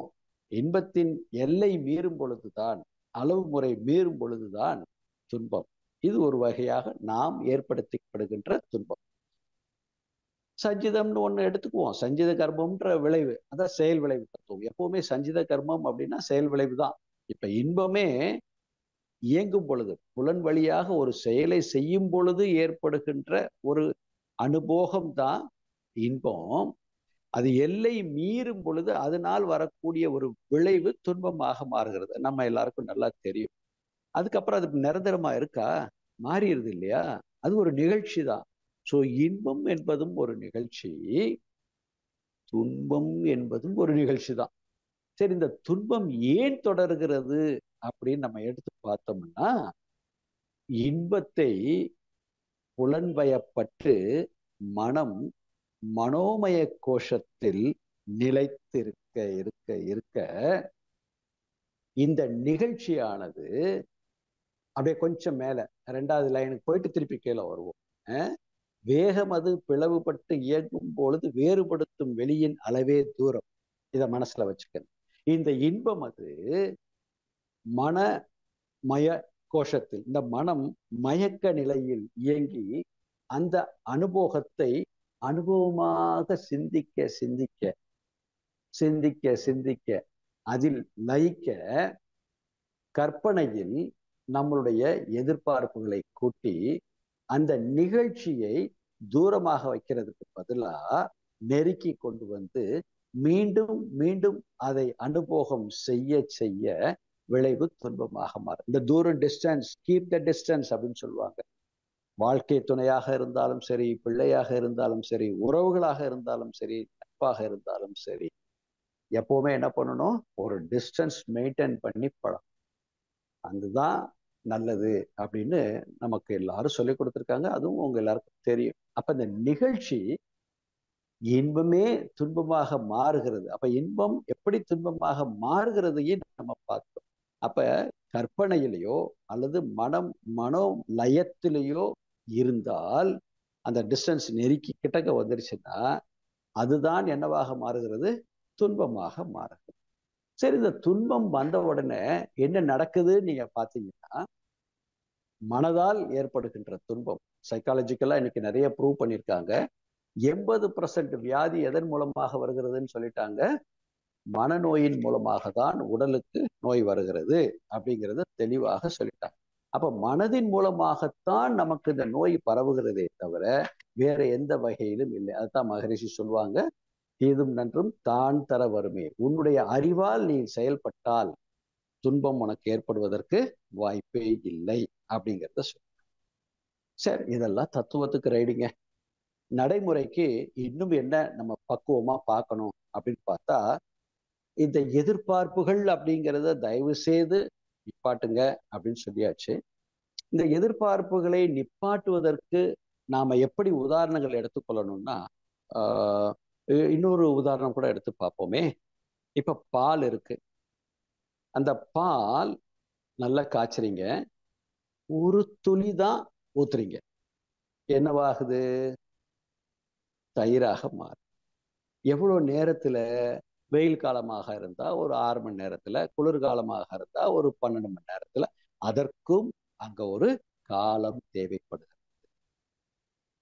அதெல்லாம் நம்ம பொறுமையா எடுத்துக்கிறோம் இல்லையா? அப்ப அதுக்கு இப்போ டெக்னிக்கல் டெக்னாலஜி வந்துருச்சு. ஏதோ நிறைய ஏதோ கெமிக்கல்லாம் போட்டு பாலை தயிராக்குறாங்க. அதுக்குள்ளே போக வேண்டாம். நம்ம தத்துவ ரீதியாகவே இதை கொஞ்சம் யோசிப்போம்.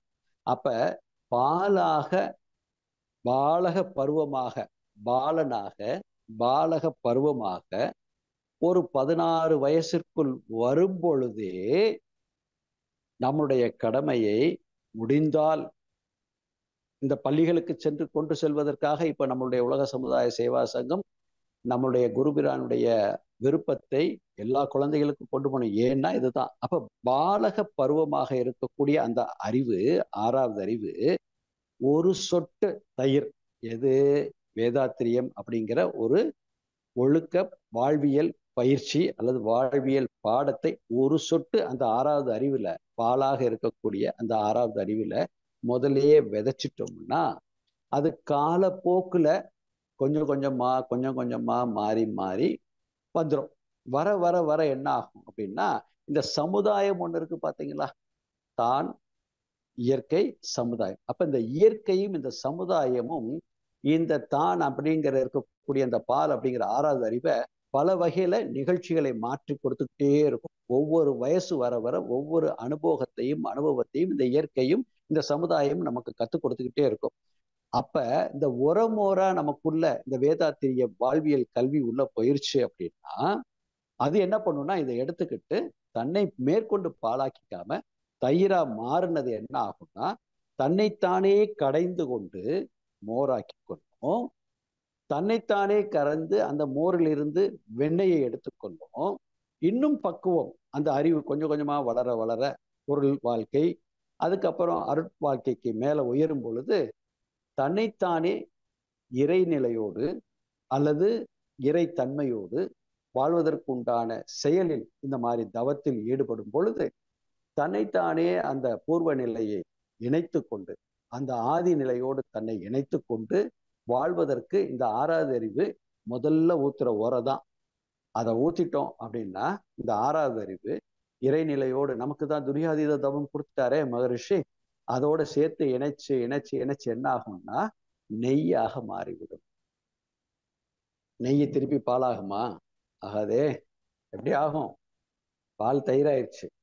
ஆனா அந்த நெய் எதுக்குள்ள இருக்கு? பாலுக்குள்ளதான் இருக்கு. இதை மனிதர்கள் கணித்து கொள்ள வேண்டும். இந்த கணிப்பை பெறக்கூடிய ஆற்றல் யார்கிட்ட இருக்குங்க? நமக்கு தான் இருக்கு. அப்ப இப்படி ஒரு இயற்கையே தன்மாற்றத்துல காலத்தால கணிந்து கணிந்து கணிந்து தன்னுடைய தன்மையையும் தரத்தையும் குணத்தையும் மனத்தையும் அருள்ல இருக்கக்கூடிய ருசியையும் மாற்றிக்கொண்டே இருக்கும் பொழுது ஆறாவது அறிவு படைத்த மனித இனத்தில் இருக்கக்கூடிய நாம் வேதாத்திரியர்களாக உயர்ந்திருக்கிறதே எவ்வளவு பெரிய மாற்றம்.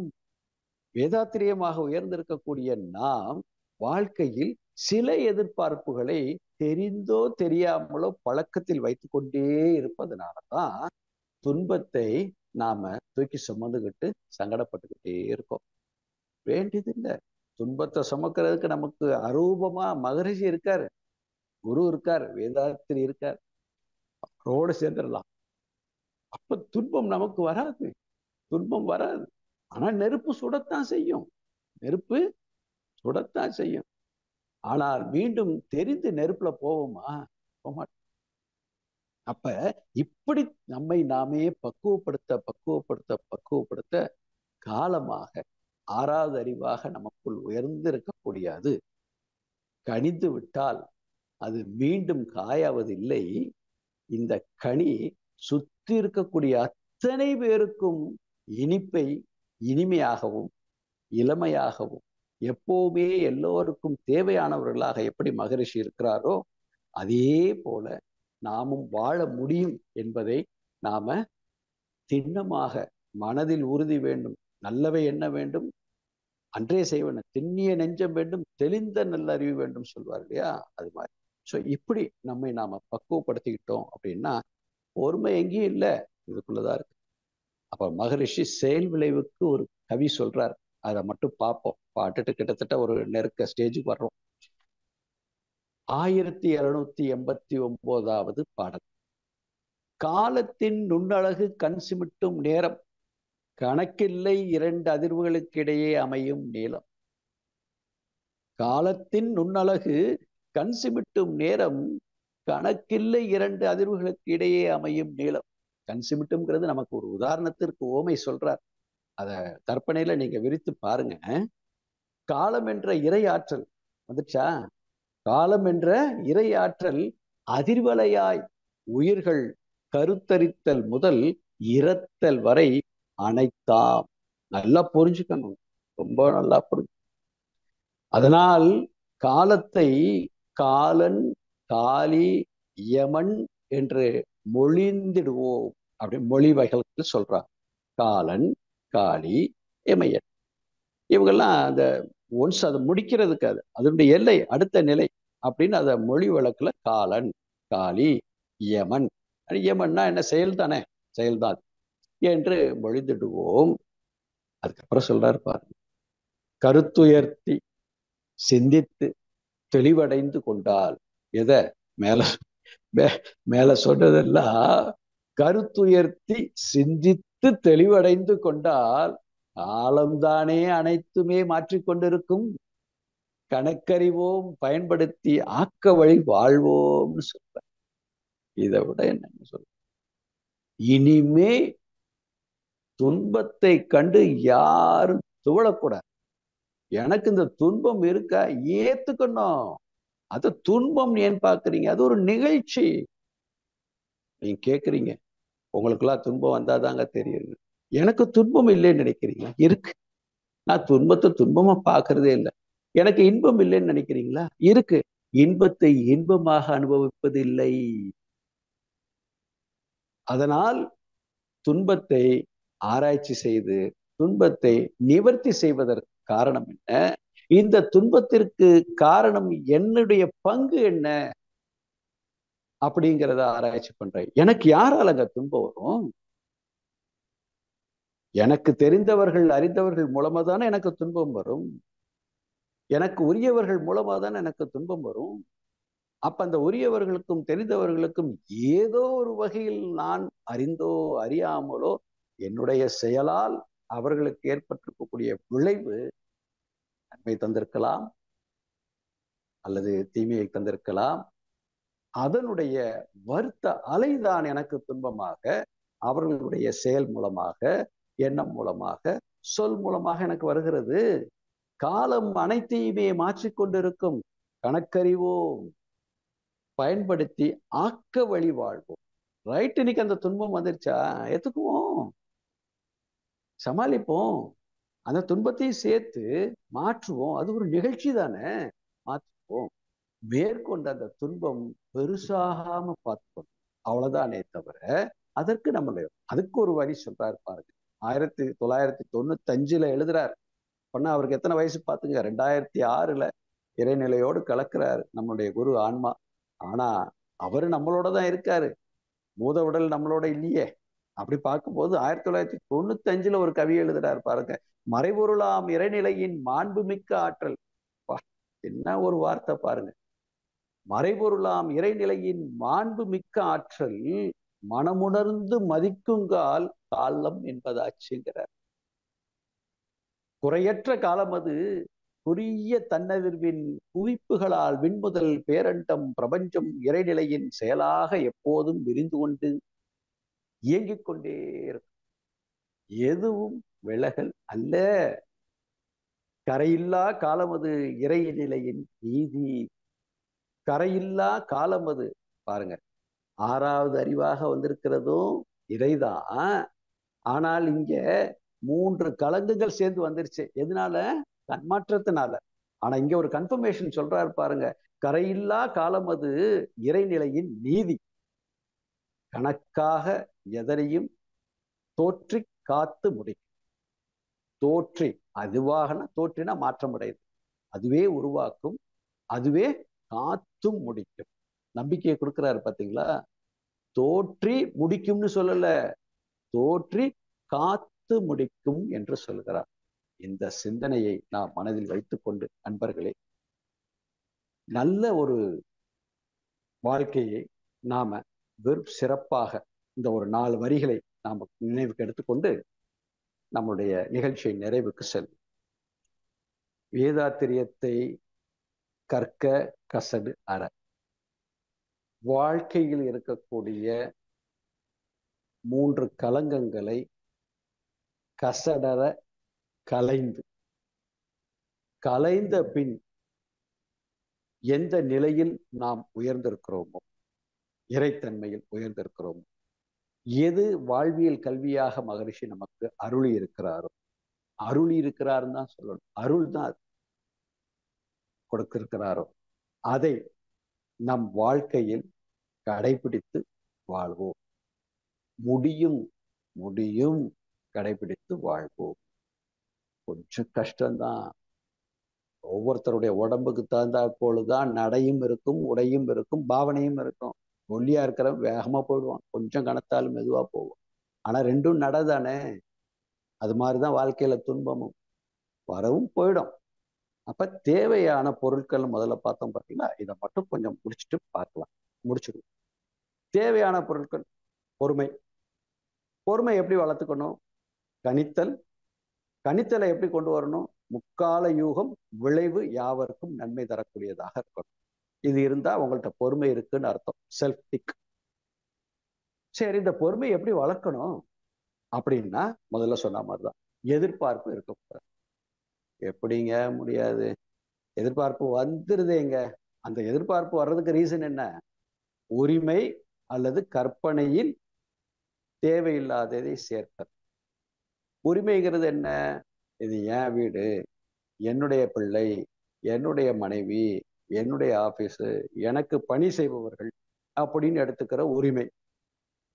அடுத்தது கற்பனை. அதுக்கப்புறம் அந்த கற்பனையினால் வரக்கூடிய விளைவு. இந்த உரிமையையும் கற்பனையும் கழித்தால் பொறுமை தானா வந்துடும் அடுத்த டேப்லர் ஏற்பு.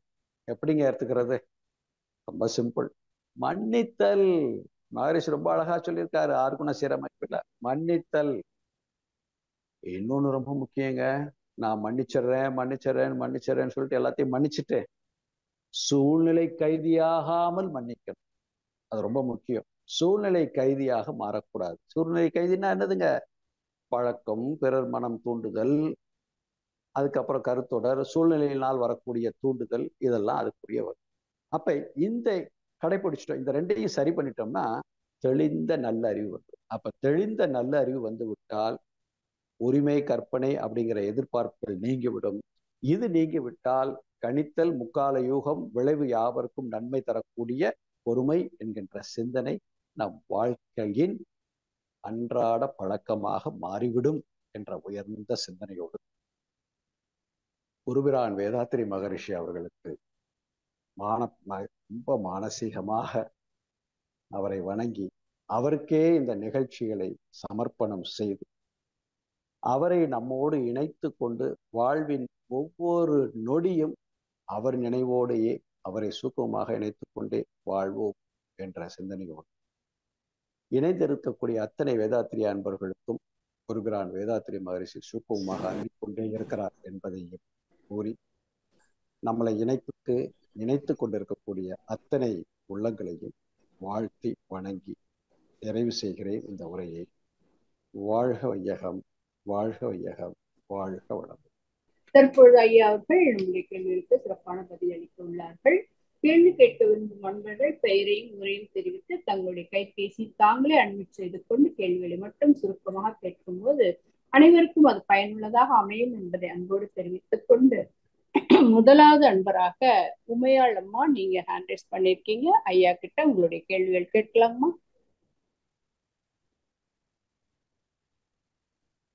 வாழ்க வளமுடன்.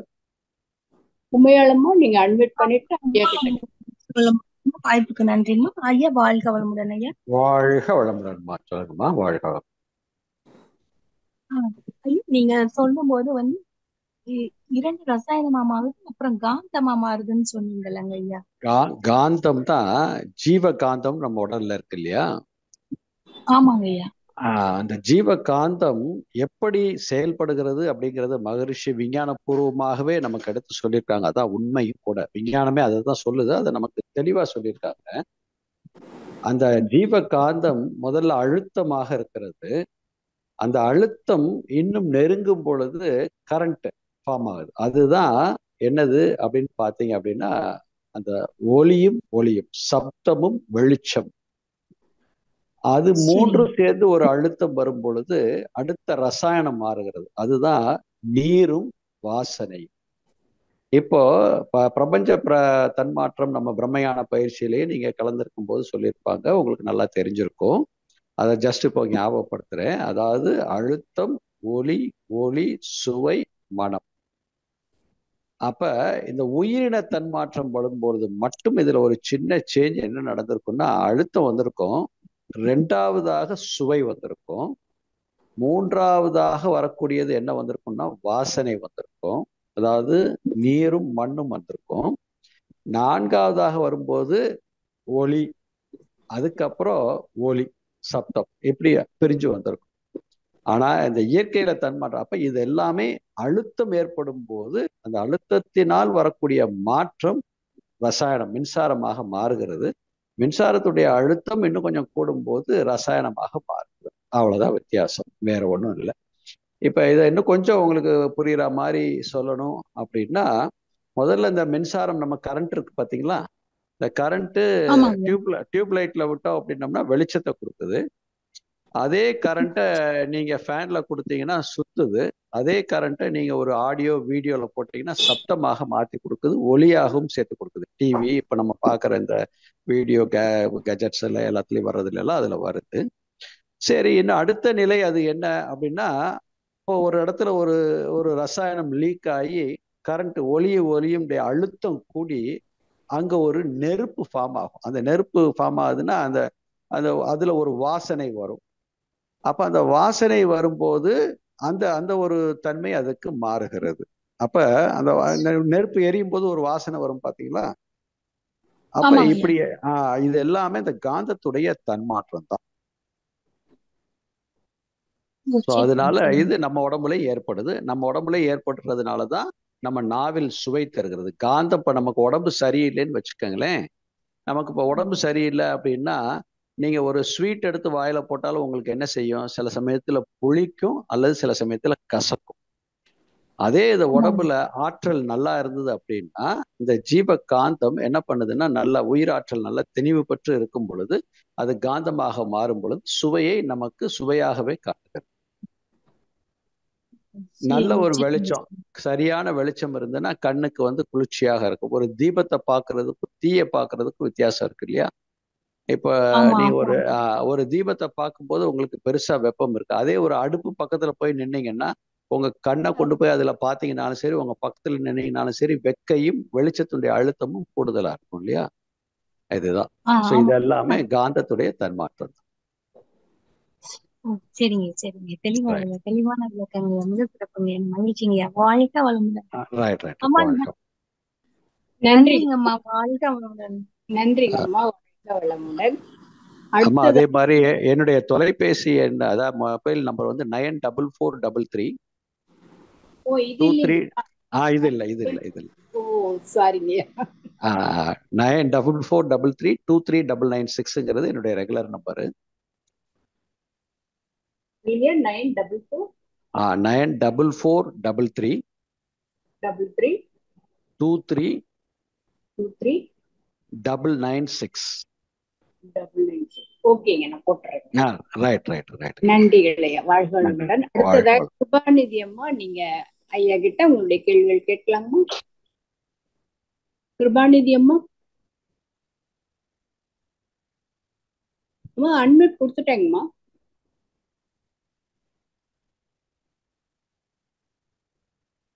கிருபாநிதி அம்மா வெளியில போயிட்டாங்கன்னு நினைக்கிறேன். அடுத்து இந்திராணி ராமச்சந்திரன். அம்மா நீங்க ஐயா கிட்ட உங்களுடைய கேள்விகள் கேட்கலாமா? வாழ்க வளமுடன். ஐயா வாழ்க வளமுடன். வாழ்க வளமுடன்மா சொல்லுங்கம்மா. அம்மா வாழ்க வளமுடன் அம்மா. வாழ்க வளமுடன்மா உங்க கேள்வி கேளுங்கம்மா ஐயா. ஐயா நான் பாதியில தான் ஐயா வந்தேன். தவற விட்டுட்டோமோன்னு க- கஷ்டமா இருக்கு. ஒரு கேள்வி இதெல்லாம் க- தெரிஞ்ச வரைக்கும் ஒரு கேள்வி கேட்கிறேங்க ஐயா. சரி சரி சரி. ஆரம்ப காலத்துல சாமிஜி ம். ஆஹ் வ- க- இறைநிலை பற்றி சொல்லும் பொழுது வற்றாயிரம் பேராற்றல் பேரறிவு. இந்த மூணு ம். மட்டும்தான் சொன்னேன். மனவளக்கலை ஒன்று இரண்டுக்கு அப்புறம்தான் காலம்ங்கிறது வந்தது. ஏன் ஐயா அவ்வளவு இடைவெளி கொடுத்து காலத்தை கொடுத்தாங்க. அதுக்கு பிறகுதான் கண்டுபிடிச்சாங்களா? இல்ல.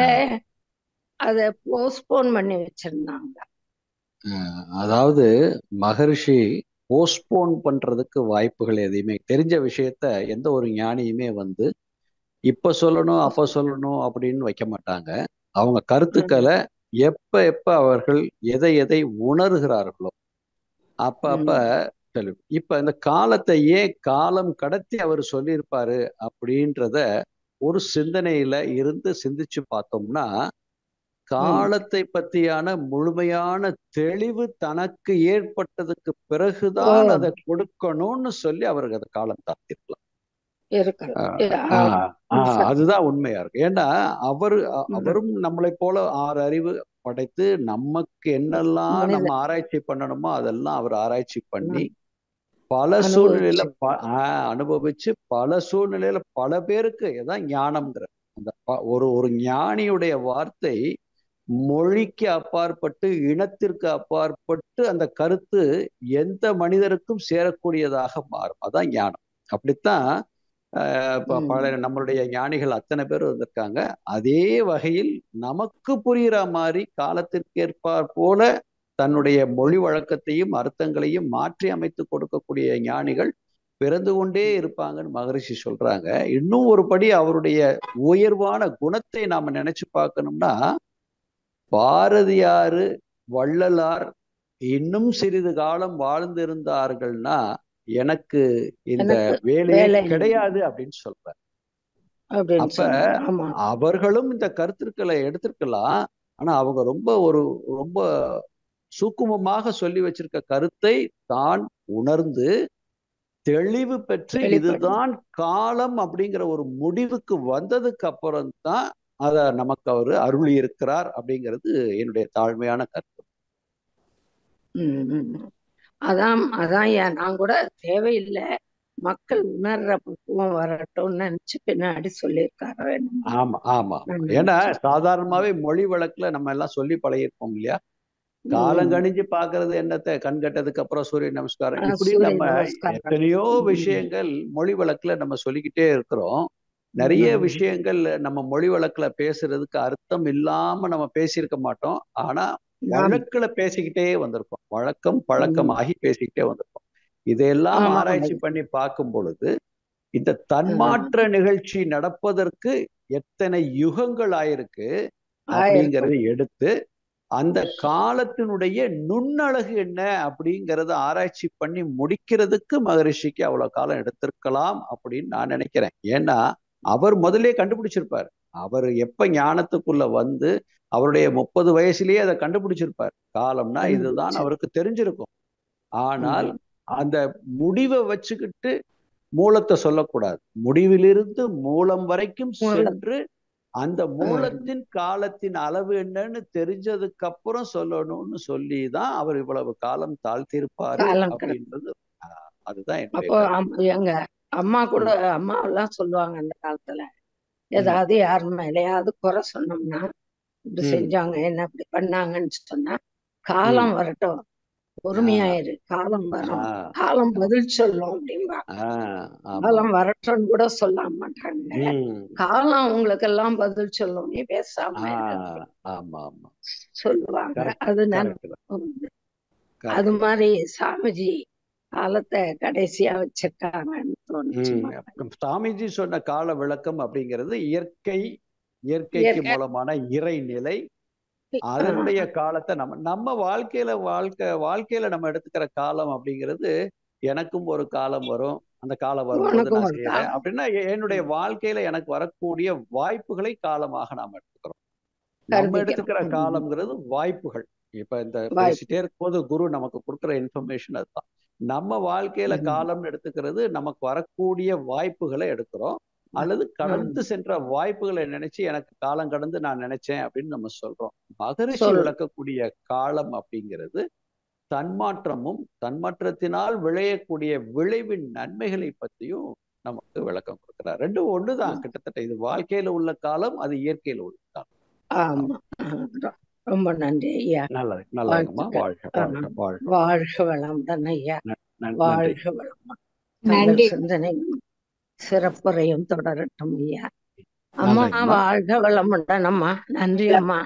நன்றிங்கம்மா நன்றி. வாழ்க வளமுடன். அதுதானுங்க எங்க அம்மா கூட சொல்லுவாங்க அவங்கவுங்க. செஞ்ச பாவ புண்ணியம் அவங்கவுங்களோட போகுது அப்படின்னுவாங்க. அப்ப அது. நம்ம கிட்ட வராது இல்லைங்களா? அவங்களுக்கு நம்ம திருப்பி பதில் சொல்லலைன்னா நம்மளுக்கு வராது. வராது.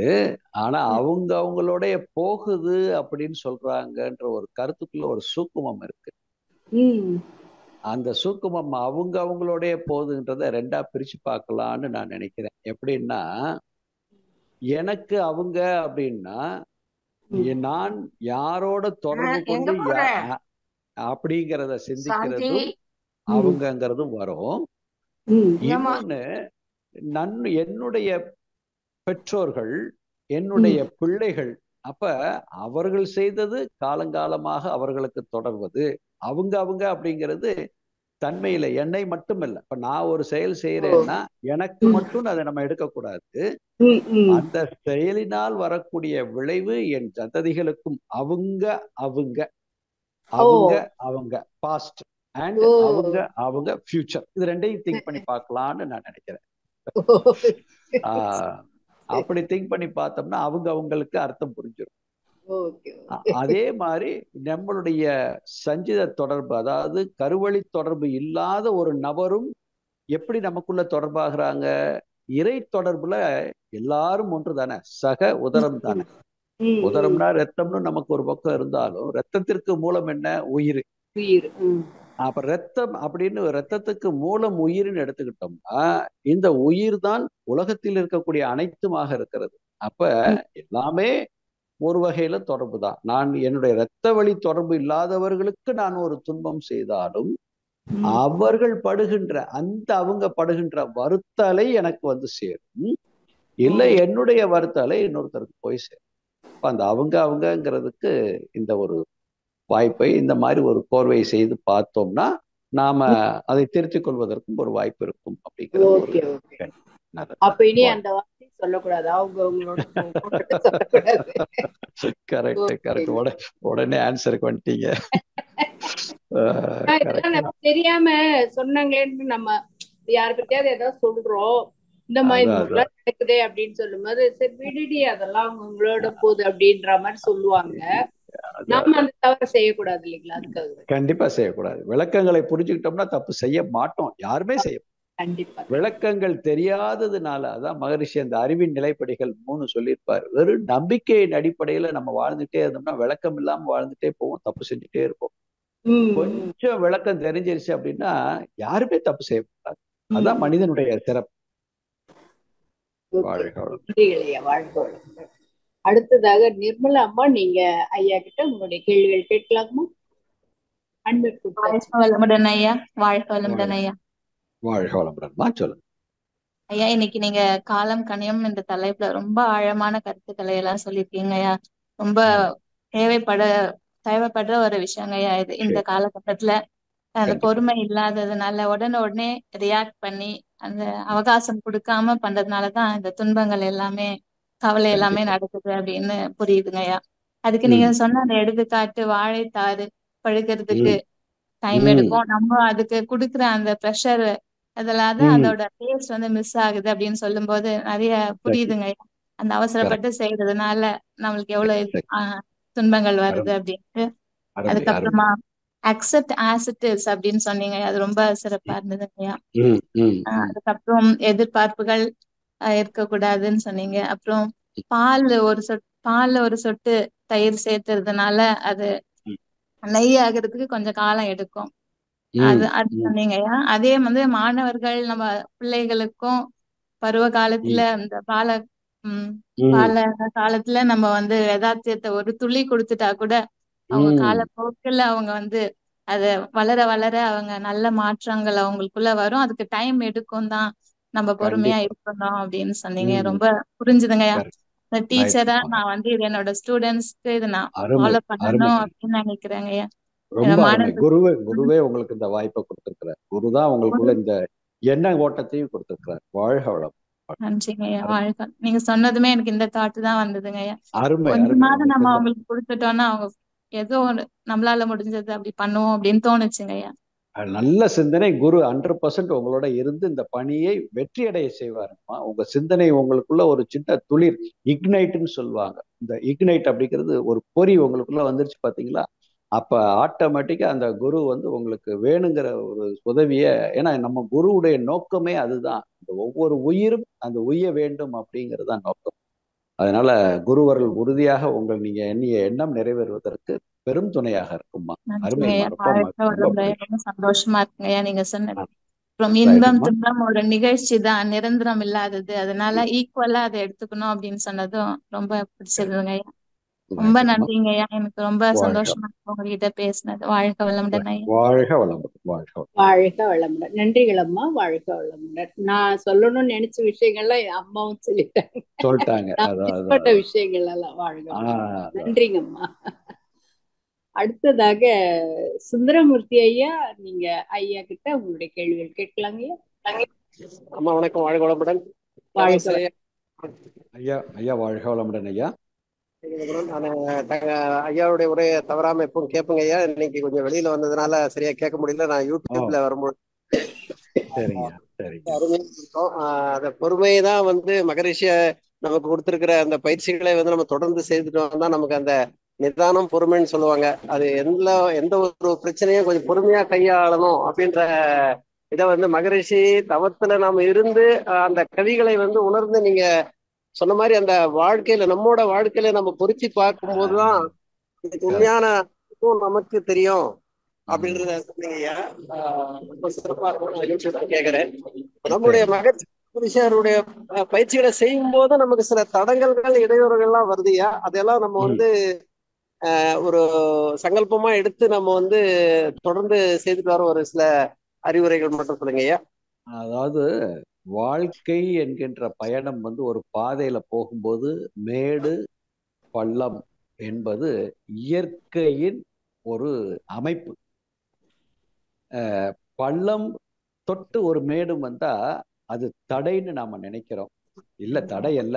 நம்மளை முன்னெச்சரிக்கையாக வைப்பதற்கு உண்டான ஒரு ஒரு ஒரு தடை கல்லுன்னு வச்சுக்கலாம் அவ்வளவுதான். இப்போ ஒரு ஸ்பீடு வண்டி போய்கிட்டே இருக்கு. எயிட்டி கிலோமீட்டர் ஸ்பீடில் போகிறோம் ஒரு இடத்துல டேர்னிங் வருது. அந்த டேர்னிங்க்கு முன்னாடி ஒரு இப்போ எல்லாம் ரொம்ப ஹை டெக்னாலஜியில் ரெண்டு விதமாக கொடுத்துருப்பாங்க. இந்த ஒயிட் கலர் பெயிண்ட் கொஞ்சம் ஒரு வரிசையாக நாலு ஜீப்ரா லைன் போட்டு வச்சிடும் அது மேலே ஏரியான்னு டட டடன்னு ஒரு சத்தம் கேட்கும் அப்போ ஆட்டோமேட்டிக்காக அங்கே அந்த வேகத்தை கண்ட்ரோல் பண்ணுறதுக்கு உண்டான ஒரு டெக்னாலஜி டெவலப் பண்ணியிருக்காங்க எக்ஸ்டர்னலாக அதே மாதிரி அதுக்கு முன்னாடி ஒரு காலத்தில் வேகத்தடை அப்படின்னு சொல்லி ஒரு பெரிய பம்பியாக ஒரு ஒரு ஒரு ரோட்லயே பெருசா போட்டிருப்பாங்க. இதெல்லாம் எதுக்கு அப்படின்னா ரோடு கிளியரா இருக்கும்போது நீ வேகமாக செல்லலாம். ஆனா அதே சமயத்துல கொஞ்சம் இடைஞ்சல்கள் சுற்றுப்புற சூழ்நிலைகள் சாதகமா இல்லை அப்படின்னா உன்னுடைய வேகத்தை குறைக்க வேண்டும். இது புற வாழ்க்கைக்கு. அதே தான் அக வாழ்க்கைக்கும். நாம அக வாழ்க்கையை சிறப்பாக போறதுக்கு இந்த தவம் கொண்டு வந்திருக்கோம். அகம் என்பது உள்ளம் உள்ளம் என்பது உயிர் தான் ஆன்மா தான் அப்ப இந்த உடல் நன்றாக இருக்கிற வரைக்கும் தான் இந்த அகம் என்பதை நாம திருத்தி அமைக்க முடியும். இந்த அகத்தை பிரிக்கவும் முடியாது உடலை மாற்றவும் முடியாது. அப்ப இது ரெண்டும் இணைஞ்சே தான் இருக்கும். ஆனால் எப்ப இந்த அகம் வெளியே போகும் அதாவது உயிர் வெளியே போகும் மகரிஷி ரொம்ப நகைச்சுவையா சொல்லியிருப்பாங்க இல்லையா? Return confirmed return ticket without the date அப்படின்னு சொல்லியிருப்பார். நமக்கு தெரியாது. பிறந்தோம் வாழ்ந்து கொண்டு இருக்கிறோம் இறப்போம்.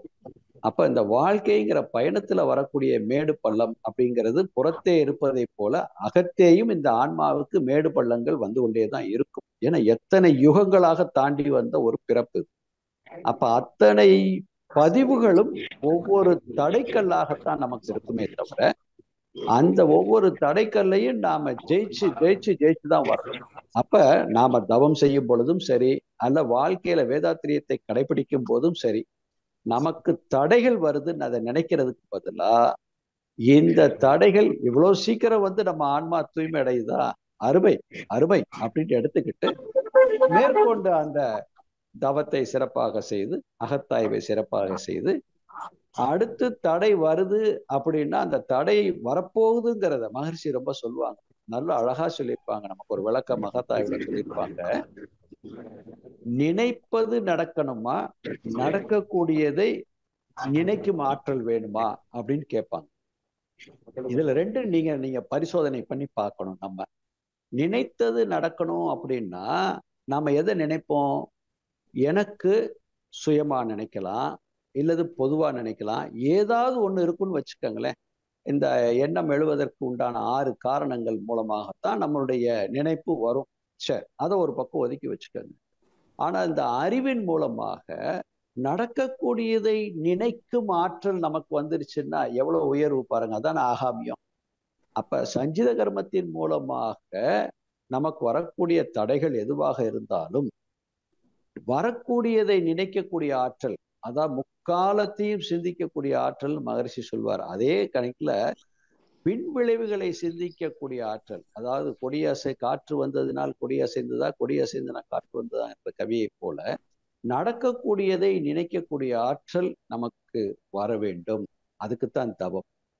அப்படி அந்த தவத்தை செய்யும் பொழுது அதே மாதிரி வாழ்க்கையில நமக்கு வரக்கூடிய இன்னல்கள் வந்து கொண்டே இருக்குது அப்படின்னா இப்படி நம்ம போய்கிட்டே இருக்கோம். எந்த இன்னல் வந்தாலும் நம்மளால சமாளிக்க முடியுங்கிற பக்குவம் எப்ப நமக்கு கிடைக்கும்னா நடக்கக்கூடியதை நினைக்கக்கூடிய ஆற்றல் நமக்கு வந்துருச்சுன்னா சம்பவங்கள் துன்பமாக இருந்தாலும் சரி இடையூறாக இருந்தாலும் சரி சமாளிக்கக்கூடிய தன்னம்பிக்கையும் அதற்குரிய அறிவு நுட்பமும் அதான் கனிவு. அந்த கணித நிலை கணித்தல் கணித நிலை அறிவின் பக்குவம் அது கிடைச்சிடும் அதனால தடைகள் நமக்கு தடை கற்களோ அல்லது தடையான ஒரு இடமும் கிடையாது. நம்மை பக்குவப்படுத்துவதற்கும் நம்மை மேலும் வளர்ப்பதற்கும் உண்டான ஒரு என்ன சொல்லலாம் தடை படிக்கல்னு சொல்லிக்கலாம். தடைகள்னு சொல்றதை விட தடை படிக்கல் அப்படின்னு சொல்லிக்கலாம். அதுதான் என்னுடைய கருத்தாக உங்கள்கிட்ட பகிர்ந்து கொள்கிறேன். வாழ்க வளம் நன்றிகள் ஐயா. அவர் மியூட் ஆயிட்டார் ஐயா. வாழ்க அடுத்ததாக கிருபாநிதி அம்மா. அம்மா நீங்க ஐயா கிட்ட உங்களுடைய கேள்விகள் கேட்கலாமா அம்மா வாழ்க வளமுடன். ஐயா வாழ்க வளமுடன் ஐயா. ஐயா ரொம்ப ஐயா நீங்க ஒரு மணி நேரம் பேசுனதை சுசிலா அம்மா ஒரு ஏழு நிமிஷத்துல வேற சுருக்கி கொடுத்தாங்க. அடுத்து ஒருத்தர் ரெண்டு நிமிஷத்துல சொன்னாங்க.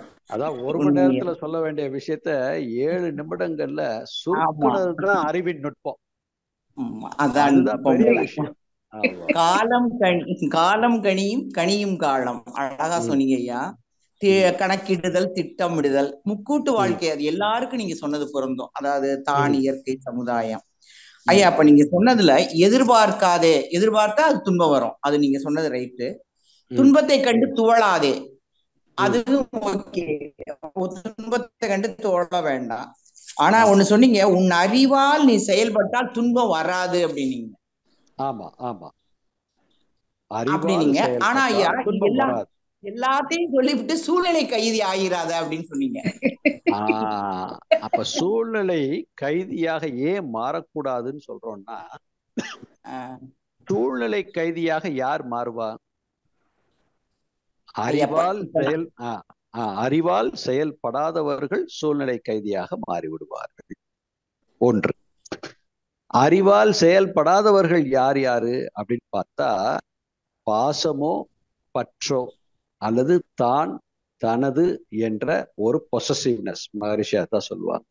அப்ப சூழ்நிலை கைதிகளாக யார் மாறுறோம் அப்படின்னு பார்த்தா என் மனைவி என்னுடைய பிள்ளைகள் என் பேரன் எனது வீடு எனக்கு உரிமை இருக்கு அப்படின்னு இந்த சூழ்நிலை என்னை அதோடு இணைத்து கொண்டு கைதியாக அப்ப கைதி யாருன்னா இக்கட்டுல இருந்து தப்பிக்க இப்ப அதே இத சூழ்நிலை என்னை எப்படி மாத்துதுன்னு பாருங்களேன்.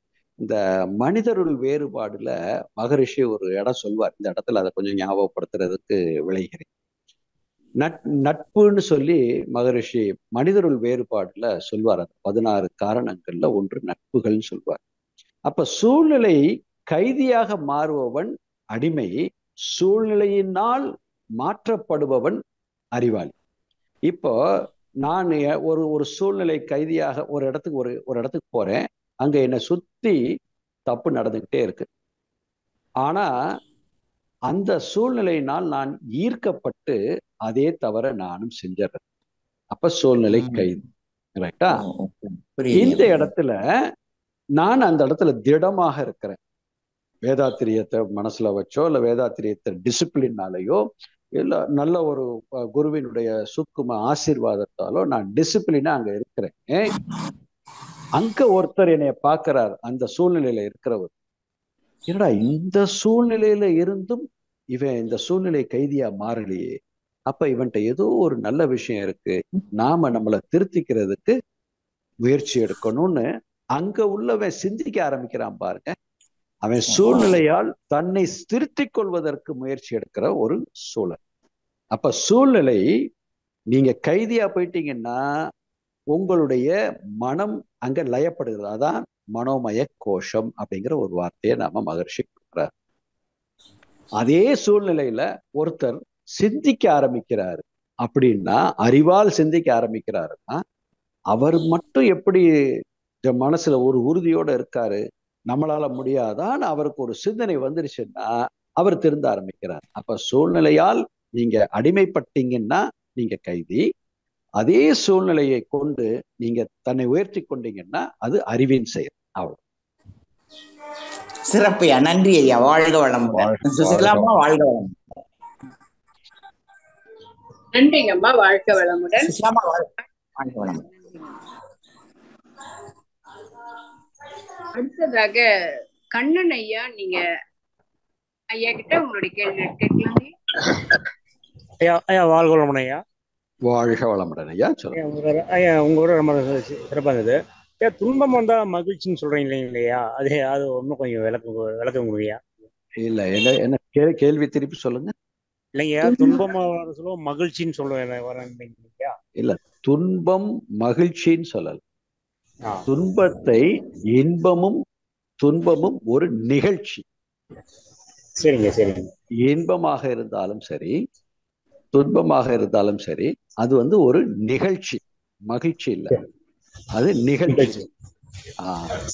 இன்பம் வரும்போது அந்த இன்பத்தினால் நீங்க மகிழ்ச்சி அடைவதும் துன்பம் வரும்போது துன்பத்தினால் நீங்கள் துவள்வதும் தேவையில்லை. ஏன்னா அது ரெண்டுமே ஒரு நிகழ்ச்சி தான். ரொம்ப நேரம் நீடிக்கக்கூடிய விஷயம் கிடையாது. அப்ப எது பேரின்பம் அப்படின்னா உங்களை எந்த வகையிலையும் அறிவால் நீங்க சிந்திச்சு புலன் மயக்கத்தால் நீங்க எங்கேயுமே உங்களுடைய எதுக்கும் அடிமையாகாமல் இருப்பது உங்களுக்கு மகிழ்ச்சி துன்பம் அப்படிங்கிற நிலைக்குள்ள போகாம அது என்னவாக இருக்கும்னா பேரின்பத்தை தரும். அதனாலதான் சொல்லுவாங்க இன்பம் மகிழ்ச்சி பேரின்பம் அப்படின்னு சொல்லி சொல்லுவாங்க. இன்பம். அப்படிங்கிறது சுயமாக நாம் அனுபோகம் செய்வது இன்பம். நாம அனுபவம் இப்போ நம்ம கண்ணு முன்னாடி நம்ம வீட்டுல ஒரு குழந்தை அல்லது உங்களுக்கு வேண்டப்பட்டவங்க ரொம்ப தெரிஞ்சவங்க ஆஹ், ஒரு விஷயத்த உங்க முன்னாடி செஞ்சு காட்டுறாங்க அப்படின்னா செஞ்ச செய்யறவங்களுக்கு ஏற்படுவது உங்க பாராட்டினால் ஏற்படுவது மகிழ்ச்சி. செஞ்சவங்களை நீங்க அதாவது இன்பம் அவங்களுக்கு அது ஒரு மகிழ்ச்சி. செஞ்சவங்களை நீங்க பார்த்து ரசிக்கிறீங்க பாத்தீங்களா அது உங்களுக்கு ஏற்படுகின்ற ஒரு மகிழ்ச்சி. செய்தவர்களுக்கு கொடுப்பது அது ஒரு ஒரு இன்பம். நமக்கு அது ஒரு இன்பமாக இருக்கிறது செய்யும் பொழுது. அதை செய்ததை ஒருத்தர் ரசிச்சு அதுல அதுல இன்புற்று மகிழ்கிறோம்னு சொல்றோம் பாத்தீங்களா இன்புற்று மகிழ்தல் அப்படிம்பாங்க. அப்ப அதுல ஏற்படுகின்ற ஒரு நிறைவு மகிழ்ச்சி. இந்த இன்பமும் அந்த மகிழ்ச்சியும் அளவு மீறும் பொழுது அதனால் வருவதுதான் துன்பம் அப்படின்னு மகரிஷி நம்ம சொல்லியிருப்பார். அதுக்கு ஒரு சிம்பிளான ஒரு உதாரணம் பார்த்தீங்கன்னா ஒரு சுவை ஒரு ஒரு ஸ்வீட் எடுத்து சாப்பிட்றீங்க அப்படின்னா முதல்ல சாப்பிடும்போது அது சுவை இன்பம். ரெண்டாவது சாப்பிடும்போது பிரமாதங்க ரொம்ப நல்லா இருக்கு மகிழ்ச்சி. மூணாவது போகும்போது போதும்னு நினைக்கிறேன் கொஞ்சம் திகட்டுதே எது இன்பம் கொடுத்தது? எது என்ன மகிழ்ச்சியை தந்தது? பின்னாடி அதே தானே திகட்டுது. அப்ப இன்பம் தரக்கூடியது அந்த பொருளாக இருந்தால் இன்பம் தரக்கூடிய மகிழ்ச்சியை தரக்கூடியது அந்த பொருளாக இருந்தால் ஏன் திகட்டணும்? அப்ப பொருளில் இல்ல திகட்டுதல் நிகழ்ச்சி. நீங்க அளவோட பயன்படும் போது அந்த நிகழ்ச்சி உங்களுக்கு இன்பமாக இருந்தது கொஞ்சம் ஆசைக்காக கொஞ்சம் கூடுதலா சாப்பிட்டீங்க. அது மகிழ்ச்சியை தான் போதும் ரெண்டு சாப்பிடணும்னு நினைச்சேன் சாப்பிட்டேன் மகிழ்ச்சி அப்படின்றது ஒரு திருப்தியை கொடுக்குது. அதே இது அளவு முறை மீறும் பொழுது அதே பொருள் உங்களுக்கு துன்பத்தை கொடுக்கும். அப்ப அதுவும் ஒரு நிகழ்ச்சி. அப்ப ஒவ்வொரு நிகழ்ச்சியும் ஒவ்வொரு தன்மைகளை உங்களுக்கு தருகிறது. அதனாலதான் இன்பமாக இருந்தாலும் சரி துன்பமாக இருந்தாலும் சரி அதை கண்டு அதிகமாக மகிழ்ச்சி அடைவதோ துன்பத்தை கண்டு அதிகமாக துவண்டு விடுவதோ வேண்டியதில்லை. அது ஒரு நிகழ்ச்சி தான். அந்த நிகழ்ச்சி யார் கையில இருக்கு? உங்க கை அதாவது என்னுடைய கையில தான் என்னுடைய நிகழ்ச்சி எல்லாமே இருக்கு. நான் அளவாக பயன்படுத்தினேன்னா அந்த நிகழ்ச்சி எனக்கு நன்மையை தரும். அவ்வளவுதான். வேற நன்றிகள் ஐயா. இன்பம் அளவு முறை மாறும் போது துன்பமாக வருகிறது. வருகிறது. நன்றிகள் ஐயா. வாழ்க்கை வளம் வாழ்க வளம் அவர் மியூட் ஆயிட்டாங்க உங்க வீட்டுல ஏதோ. சவுண்ட் வருதுன்னு மியூட் ஆயிட்டாங்க ஆ ரைட் ரைட் ரைட் நன்றிகள் ஐயா. மிக்க சிறப்புங்கய்யா நிறைய விஷயங்கள் இன்னைக்கு கிளியர் பண்ணிட்டோம் நாங்க. ஆமா ஆமா. குரு குரு குரு கொடுத்துட்டாரு நம்ம எல்லாருக்கும். லக்ஷ்மணன் காந்திமதி அம்மா கொஞ்சம் ஷார்ட் அண்ட் ஸ்வீட்டா கேளுங்க. டைம் முடியுது. பேசலாங்கம்மா ஐயா வாழ்க வளமுடன் ஐயா. வாழ்க வளம் கேக்குதுங்களா ஆ கேக்குதுங்க உரை உரை ரொம்ப மிகவும் சிறப்பா இருந்ததுங்க ஐயா. ஒவ்வொரு தோழிகளும் கேள்விகளை தொடர்ச்சியா கேட்கவும் ஐயங்கள் நீங்கிட்டுச்சு. இருந்தாலும் அந்த இன்ப துன்பங்கள் வந்து அந்த என்ன சொல்றது குடும்ப நிகழ்ச்சிகளா இருக்கட்டும் பொதுவான இடங்களா இருக்கட்டும் அந்த ஒரு என்ன சொல்றது இன்பம் வந்தாலும் அதை தாங்கிக்கூடிய சூழ்நிலையும் துன்பம் வந்தாலும். அதை தாங்கிக்கூடிய சூழ்நிலையும் அந்த தனித்தன்மையா அந்த எப்போதுமே அந்த மனநிலை இருக்கக்கூடிய அப்படிங்க வகுத்துக்கிறது நீங்க கேள்வி கேட்டு உங்க மனைவிக்குள்ள ஒரு பேச்சு ஆ, எடுக்கிற ஆ ஆ ஆ. சொல்லுங்க. பேசுறோம். அவர் பேசுறது சரிதான் பேச நினைக்கிறோம். இருந்தாலும் அதனுடைய விளைவுகளால் வரக்கூடிய பேச்சுல ஒரு கோபம் வந்துடுது அதெல்லாம் நம்ம சரி பொறுமையா சொல்றோம். இருந்தாலும் அதை மீறி விஷயங்கள் நடக்கிறப்ப நம்மள ஒரு அந்த இடத்துல அட்மாஸ்பியர் மாறிடுது. அதை வந்து அந்த நிலையை எப்போதுமே ஒரு சமநோக்கம் இருக்கிறது எப்படிங்க ஐயா? வாழ்க்கை வளமுடன் ஐயா? வாழ்க வளமுடன். ஐயா இப்ப ஒரு சூடான பொருள். இட்லி இருக்கு. நல்லா அவிச்சு சூடா எடுத்து தட்டுறாங்க. இட்லி ரொம்ப நல்லா பிடிக்கும். எல்லாருக்கும் பிடிக்கும் இட்லி. சுட சுட இருக்கு. கை வச்சாலே சுடுது. ஆனாலும் நாம் என்ன பண்ணுவோம்? அந்த இட்லியை போடுவோம். போட்டுட்டு என்ன பண்ணுவோம்? அப்படியே எடுத்து வாயில போடுவோம். இது பழக்கம். இந்த பழக்கத்தை மாத்திட்டோம்னா சரியா போகும் இதான் வாழ்க்கை. ரொம்ப சிம்பிள் ஆனா நமக்கு அந்த பழக்கத்திலேருந்து வெளியே வர்றதுல அந்த ஒரு ஆசை தான் வேற ஒன்றும் இல்லை. இதே தான் நம்ம வாழ்க்கையில கோவப்படுறதுலையும் வச்சிருக்கோம். அந்த உரிமை தான் வாழ்க்கை துணை அப்படிங்கிற உரிமையை ரெண்டு பேரும் எடுத்துக்கிறது தான் மனைவி கணவன்கிட்ட எடுத்துக்கிறதும் இருக்கு. கணவன் மனைவிட்ட எடுத்துக்கிறதும் இருக்கு. மகரிஷி ரொம்ப அழகா சொல்லுவாங்க. யார் விட்டு கொடுக்கறது அப்படின்னு சொல்லி மகரிஷிட்ட கேள்வி கேட்டப்ப யாரு ரொம்ப புத்திசாலியோ அவங்க விட்டு கொடுத்துருவாங்க அப்படின்னு சொல்லி சொல்வார். யார் அறிவாளின்னு சொல்ல ஆஹ் யாரு புத்திசாலியோ அவங்க விட்டு கொடுத்துருவாங்க. அப்படின்னு மகரிஷி சொல்வார். அப்ப இன்னொருத்தர் புத்திசாலி இல்லேன்னு மகரிஷி சொல்றாங்களா? இல்ல இல்ல இல்ல. அந்த நேரத்துல அப்ளிகேஷன் ஆஃப் நாலேஜ் யார்? அதுதான் புத்திசாலின்னு சொன்னார். அறிவாளின்னு சொல்லல. புத்திசாலி யாரு? அப்ளிகேஷன் ஆஃப் நாலேஜ் தான் புத்திசாலி. கான்சியஸ்னஸ் வேற அப்ளிகேஷன் ஆஃப் நாலேஜ் வேற. ஸோ கான்சியஸ்னஸ் அந்த அந்த நம்மகிட்ட இருக்க இருப்பாக இருக்கக்கூடிய அந்த கான்சியஸை யார் அப்ளை பண்ணணும்? ஏன்னா வாழ்க்கை துணை ஒருவருக்கு ஒருவர் ரெண்டு பேருமே உயிர் தான். ரெண்டு பேர்கிட்டையுமே ஒருத்தர் மேல ஒருத்தர் உரிமை இருக்கும். கணவன் மனைவி மேல உரிமை இருக்கும். மனைவிக்கு கணவன் மேல உரிமை இருக்கும். ரெண்டு பேரும் சேர்ந்து அவங்க அவங்க அம்மா அப்பா மேல உரிமை இருக்கும். எல்லாருக்கும் போய் இந்த உரிமை தாங்க நமக்குள்ள இருக்கக்கூடிய ஒரு பெரிய ஒரு என்ன சொல்றது இருமுனை வாழ். இந்த உரிமை தான் அந்த வாழ். அதை நம்ம பக்குவமா ஹேண்டில் பண்ணிட்டோம் அப்படின்னா யாராவது ஒருத்தர் விட்டு கொடுக்குறோம் அப்படின்னா அந்த விட்டு கொடுத்ததை ஏற்றுக்கொண்டவர்கள் கொஞ்சம் சிந்திக்க ஆரம்பிப்பாங்க. ஐயோ நம்ம தான் அவசரப்பட்டோமோ? அப்படின்னு அது யாரா வேணாலும் இருக்கலாம். ஆணாக இருக்கலாம் பெண்ணாக இருக்கலாம். அடுத்த முறை வரும்போது அவங்க திருத்திக்கிட்டு நமக்காக மாறுவாங்க. இப்படித்தான் வாழ்க்கை. இந்த வாழ்க்கை பயணத்துல ஏற்படுகின்ற ஆஹ் கணவன் மனைவி அல்லது பிள்ளைகளுடைய பிரச்சனைகளை யாராவது ஒருத்தர் தண்ணியில் எரிந்த பந்தை போல அப்சர்வ் பண்ணிட்டோம்னா அது திருப்பி மீண்டும் எழுந்து வெளியே வராது. அதுக்கப்புறம் கிடைக்கிற அந்த ஒற்றுமையும் இன்பமும் பாருங்க எல்லை இல்லாதாக நாம என்ன பண்றோம்னா உடனே உடனே ஒரு ரியாக்ஷன் அதை கொடுக்கும்போது தான் அது வருது. ஸோ இதை பக்குவமா ஹேண்டில் பண்றது யாரோ ஒருத்தர் தண்ணி இப்போ தண்ணிக்குள்ள ஒரு பந்தை எரிஞ்சு பார்த்தீங்கன்னா என்ன பண்ணும் அது திருப்பி வெளியே வராது. அதே ஒரு சுவற்றில் ஒரு பந்தை எரிஞ்சு பாருங்க நீங்க என்ன வேகத்துல எறிகிறீங்களோ அதே வேகத்துல அது திருப்பி வரும் இல்லையா? அதே போல எவ்வளோ வேகமா நீங்க தண்ணியில எரிஞ்சிங்கனாலும் பந்து திருப்பி வெளியே வருமா? வராது. அது போல நம்ம மாற்றிக்கொண்டோம்னா சரியா போகும் ஐயா வாழ்க வளம் நன்றிகள் ஐயா. வாழ்க வளமுடன். வாழ்க வளமுடன் நிகழ்ச்சி நிறைவு செஞ்சுக்கலாங்களா ஐயா? ஆஹ் நான் செஞ்சிடலாங்கம்மா வாழ்க வளமுடன் இந்த நிகழ்ச்சியை ஒருங்கிணைந்து தந்த திருமதி பேராசிரியர் சுசிலாமா அவர்களுக்கும் இணைப்பில் வந்த அத்தனை அன்பர்களுக்கும் இணைப்புக்கு உதவிய அத்தனை உள்ளங்களையும் வணங்கி வாழ்த்தி இந்த நிகழ்ச்சிகளையும் இன்று கருத்துக்கள் அனைத்தையுமே நமது குருபிரான் வேதாத்திரி மகரிஷிக்கு சமர்ப்பணம் செய்து இந்த வாய்ப்பை மகிழ்ச்சியோடு மகிழ்ச்சியோடு நிறைவோடு நிறைவு செய்து வாழ்க வளமுடன் என்று வாழ்த்தி வணங்கி விடை செய்கிறேன். வாழ்க வளம். நன்றிகள் ஐயா வாழ்க வளமுடன். நீங்க சிறப்பான பதிலையும் நீங்க கொடுத்தீங்க. நிறைய பேருக்கு நிறைய அவேர்னஸ் கிடைச்சிருக்கும்.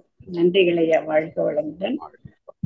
நம் கடமை அறவாழ்வின் நாட்டத்தே சில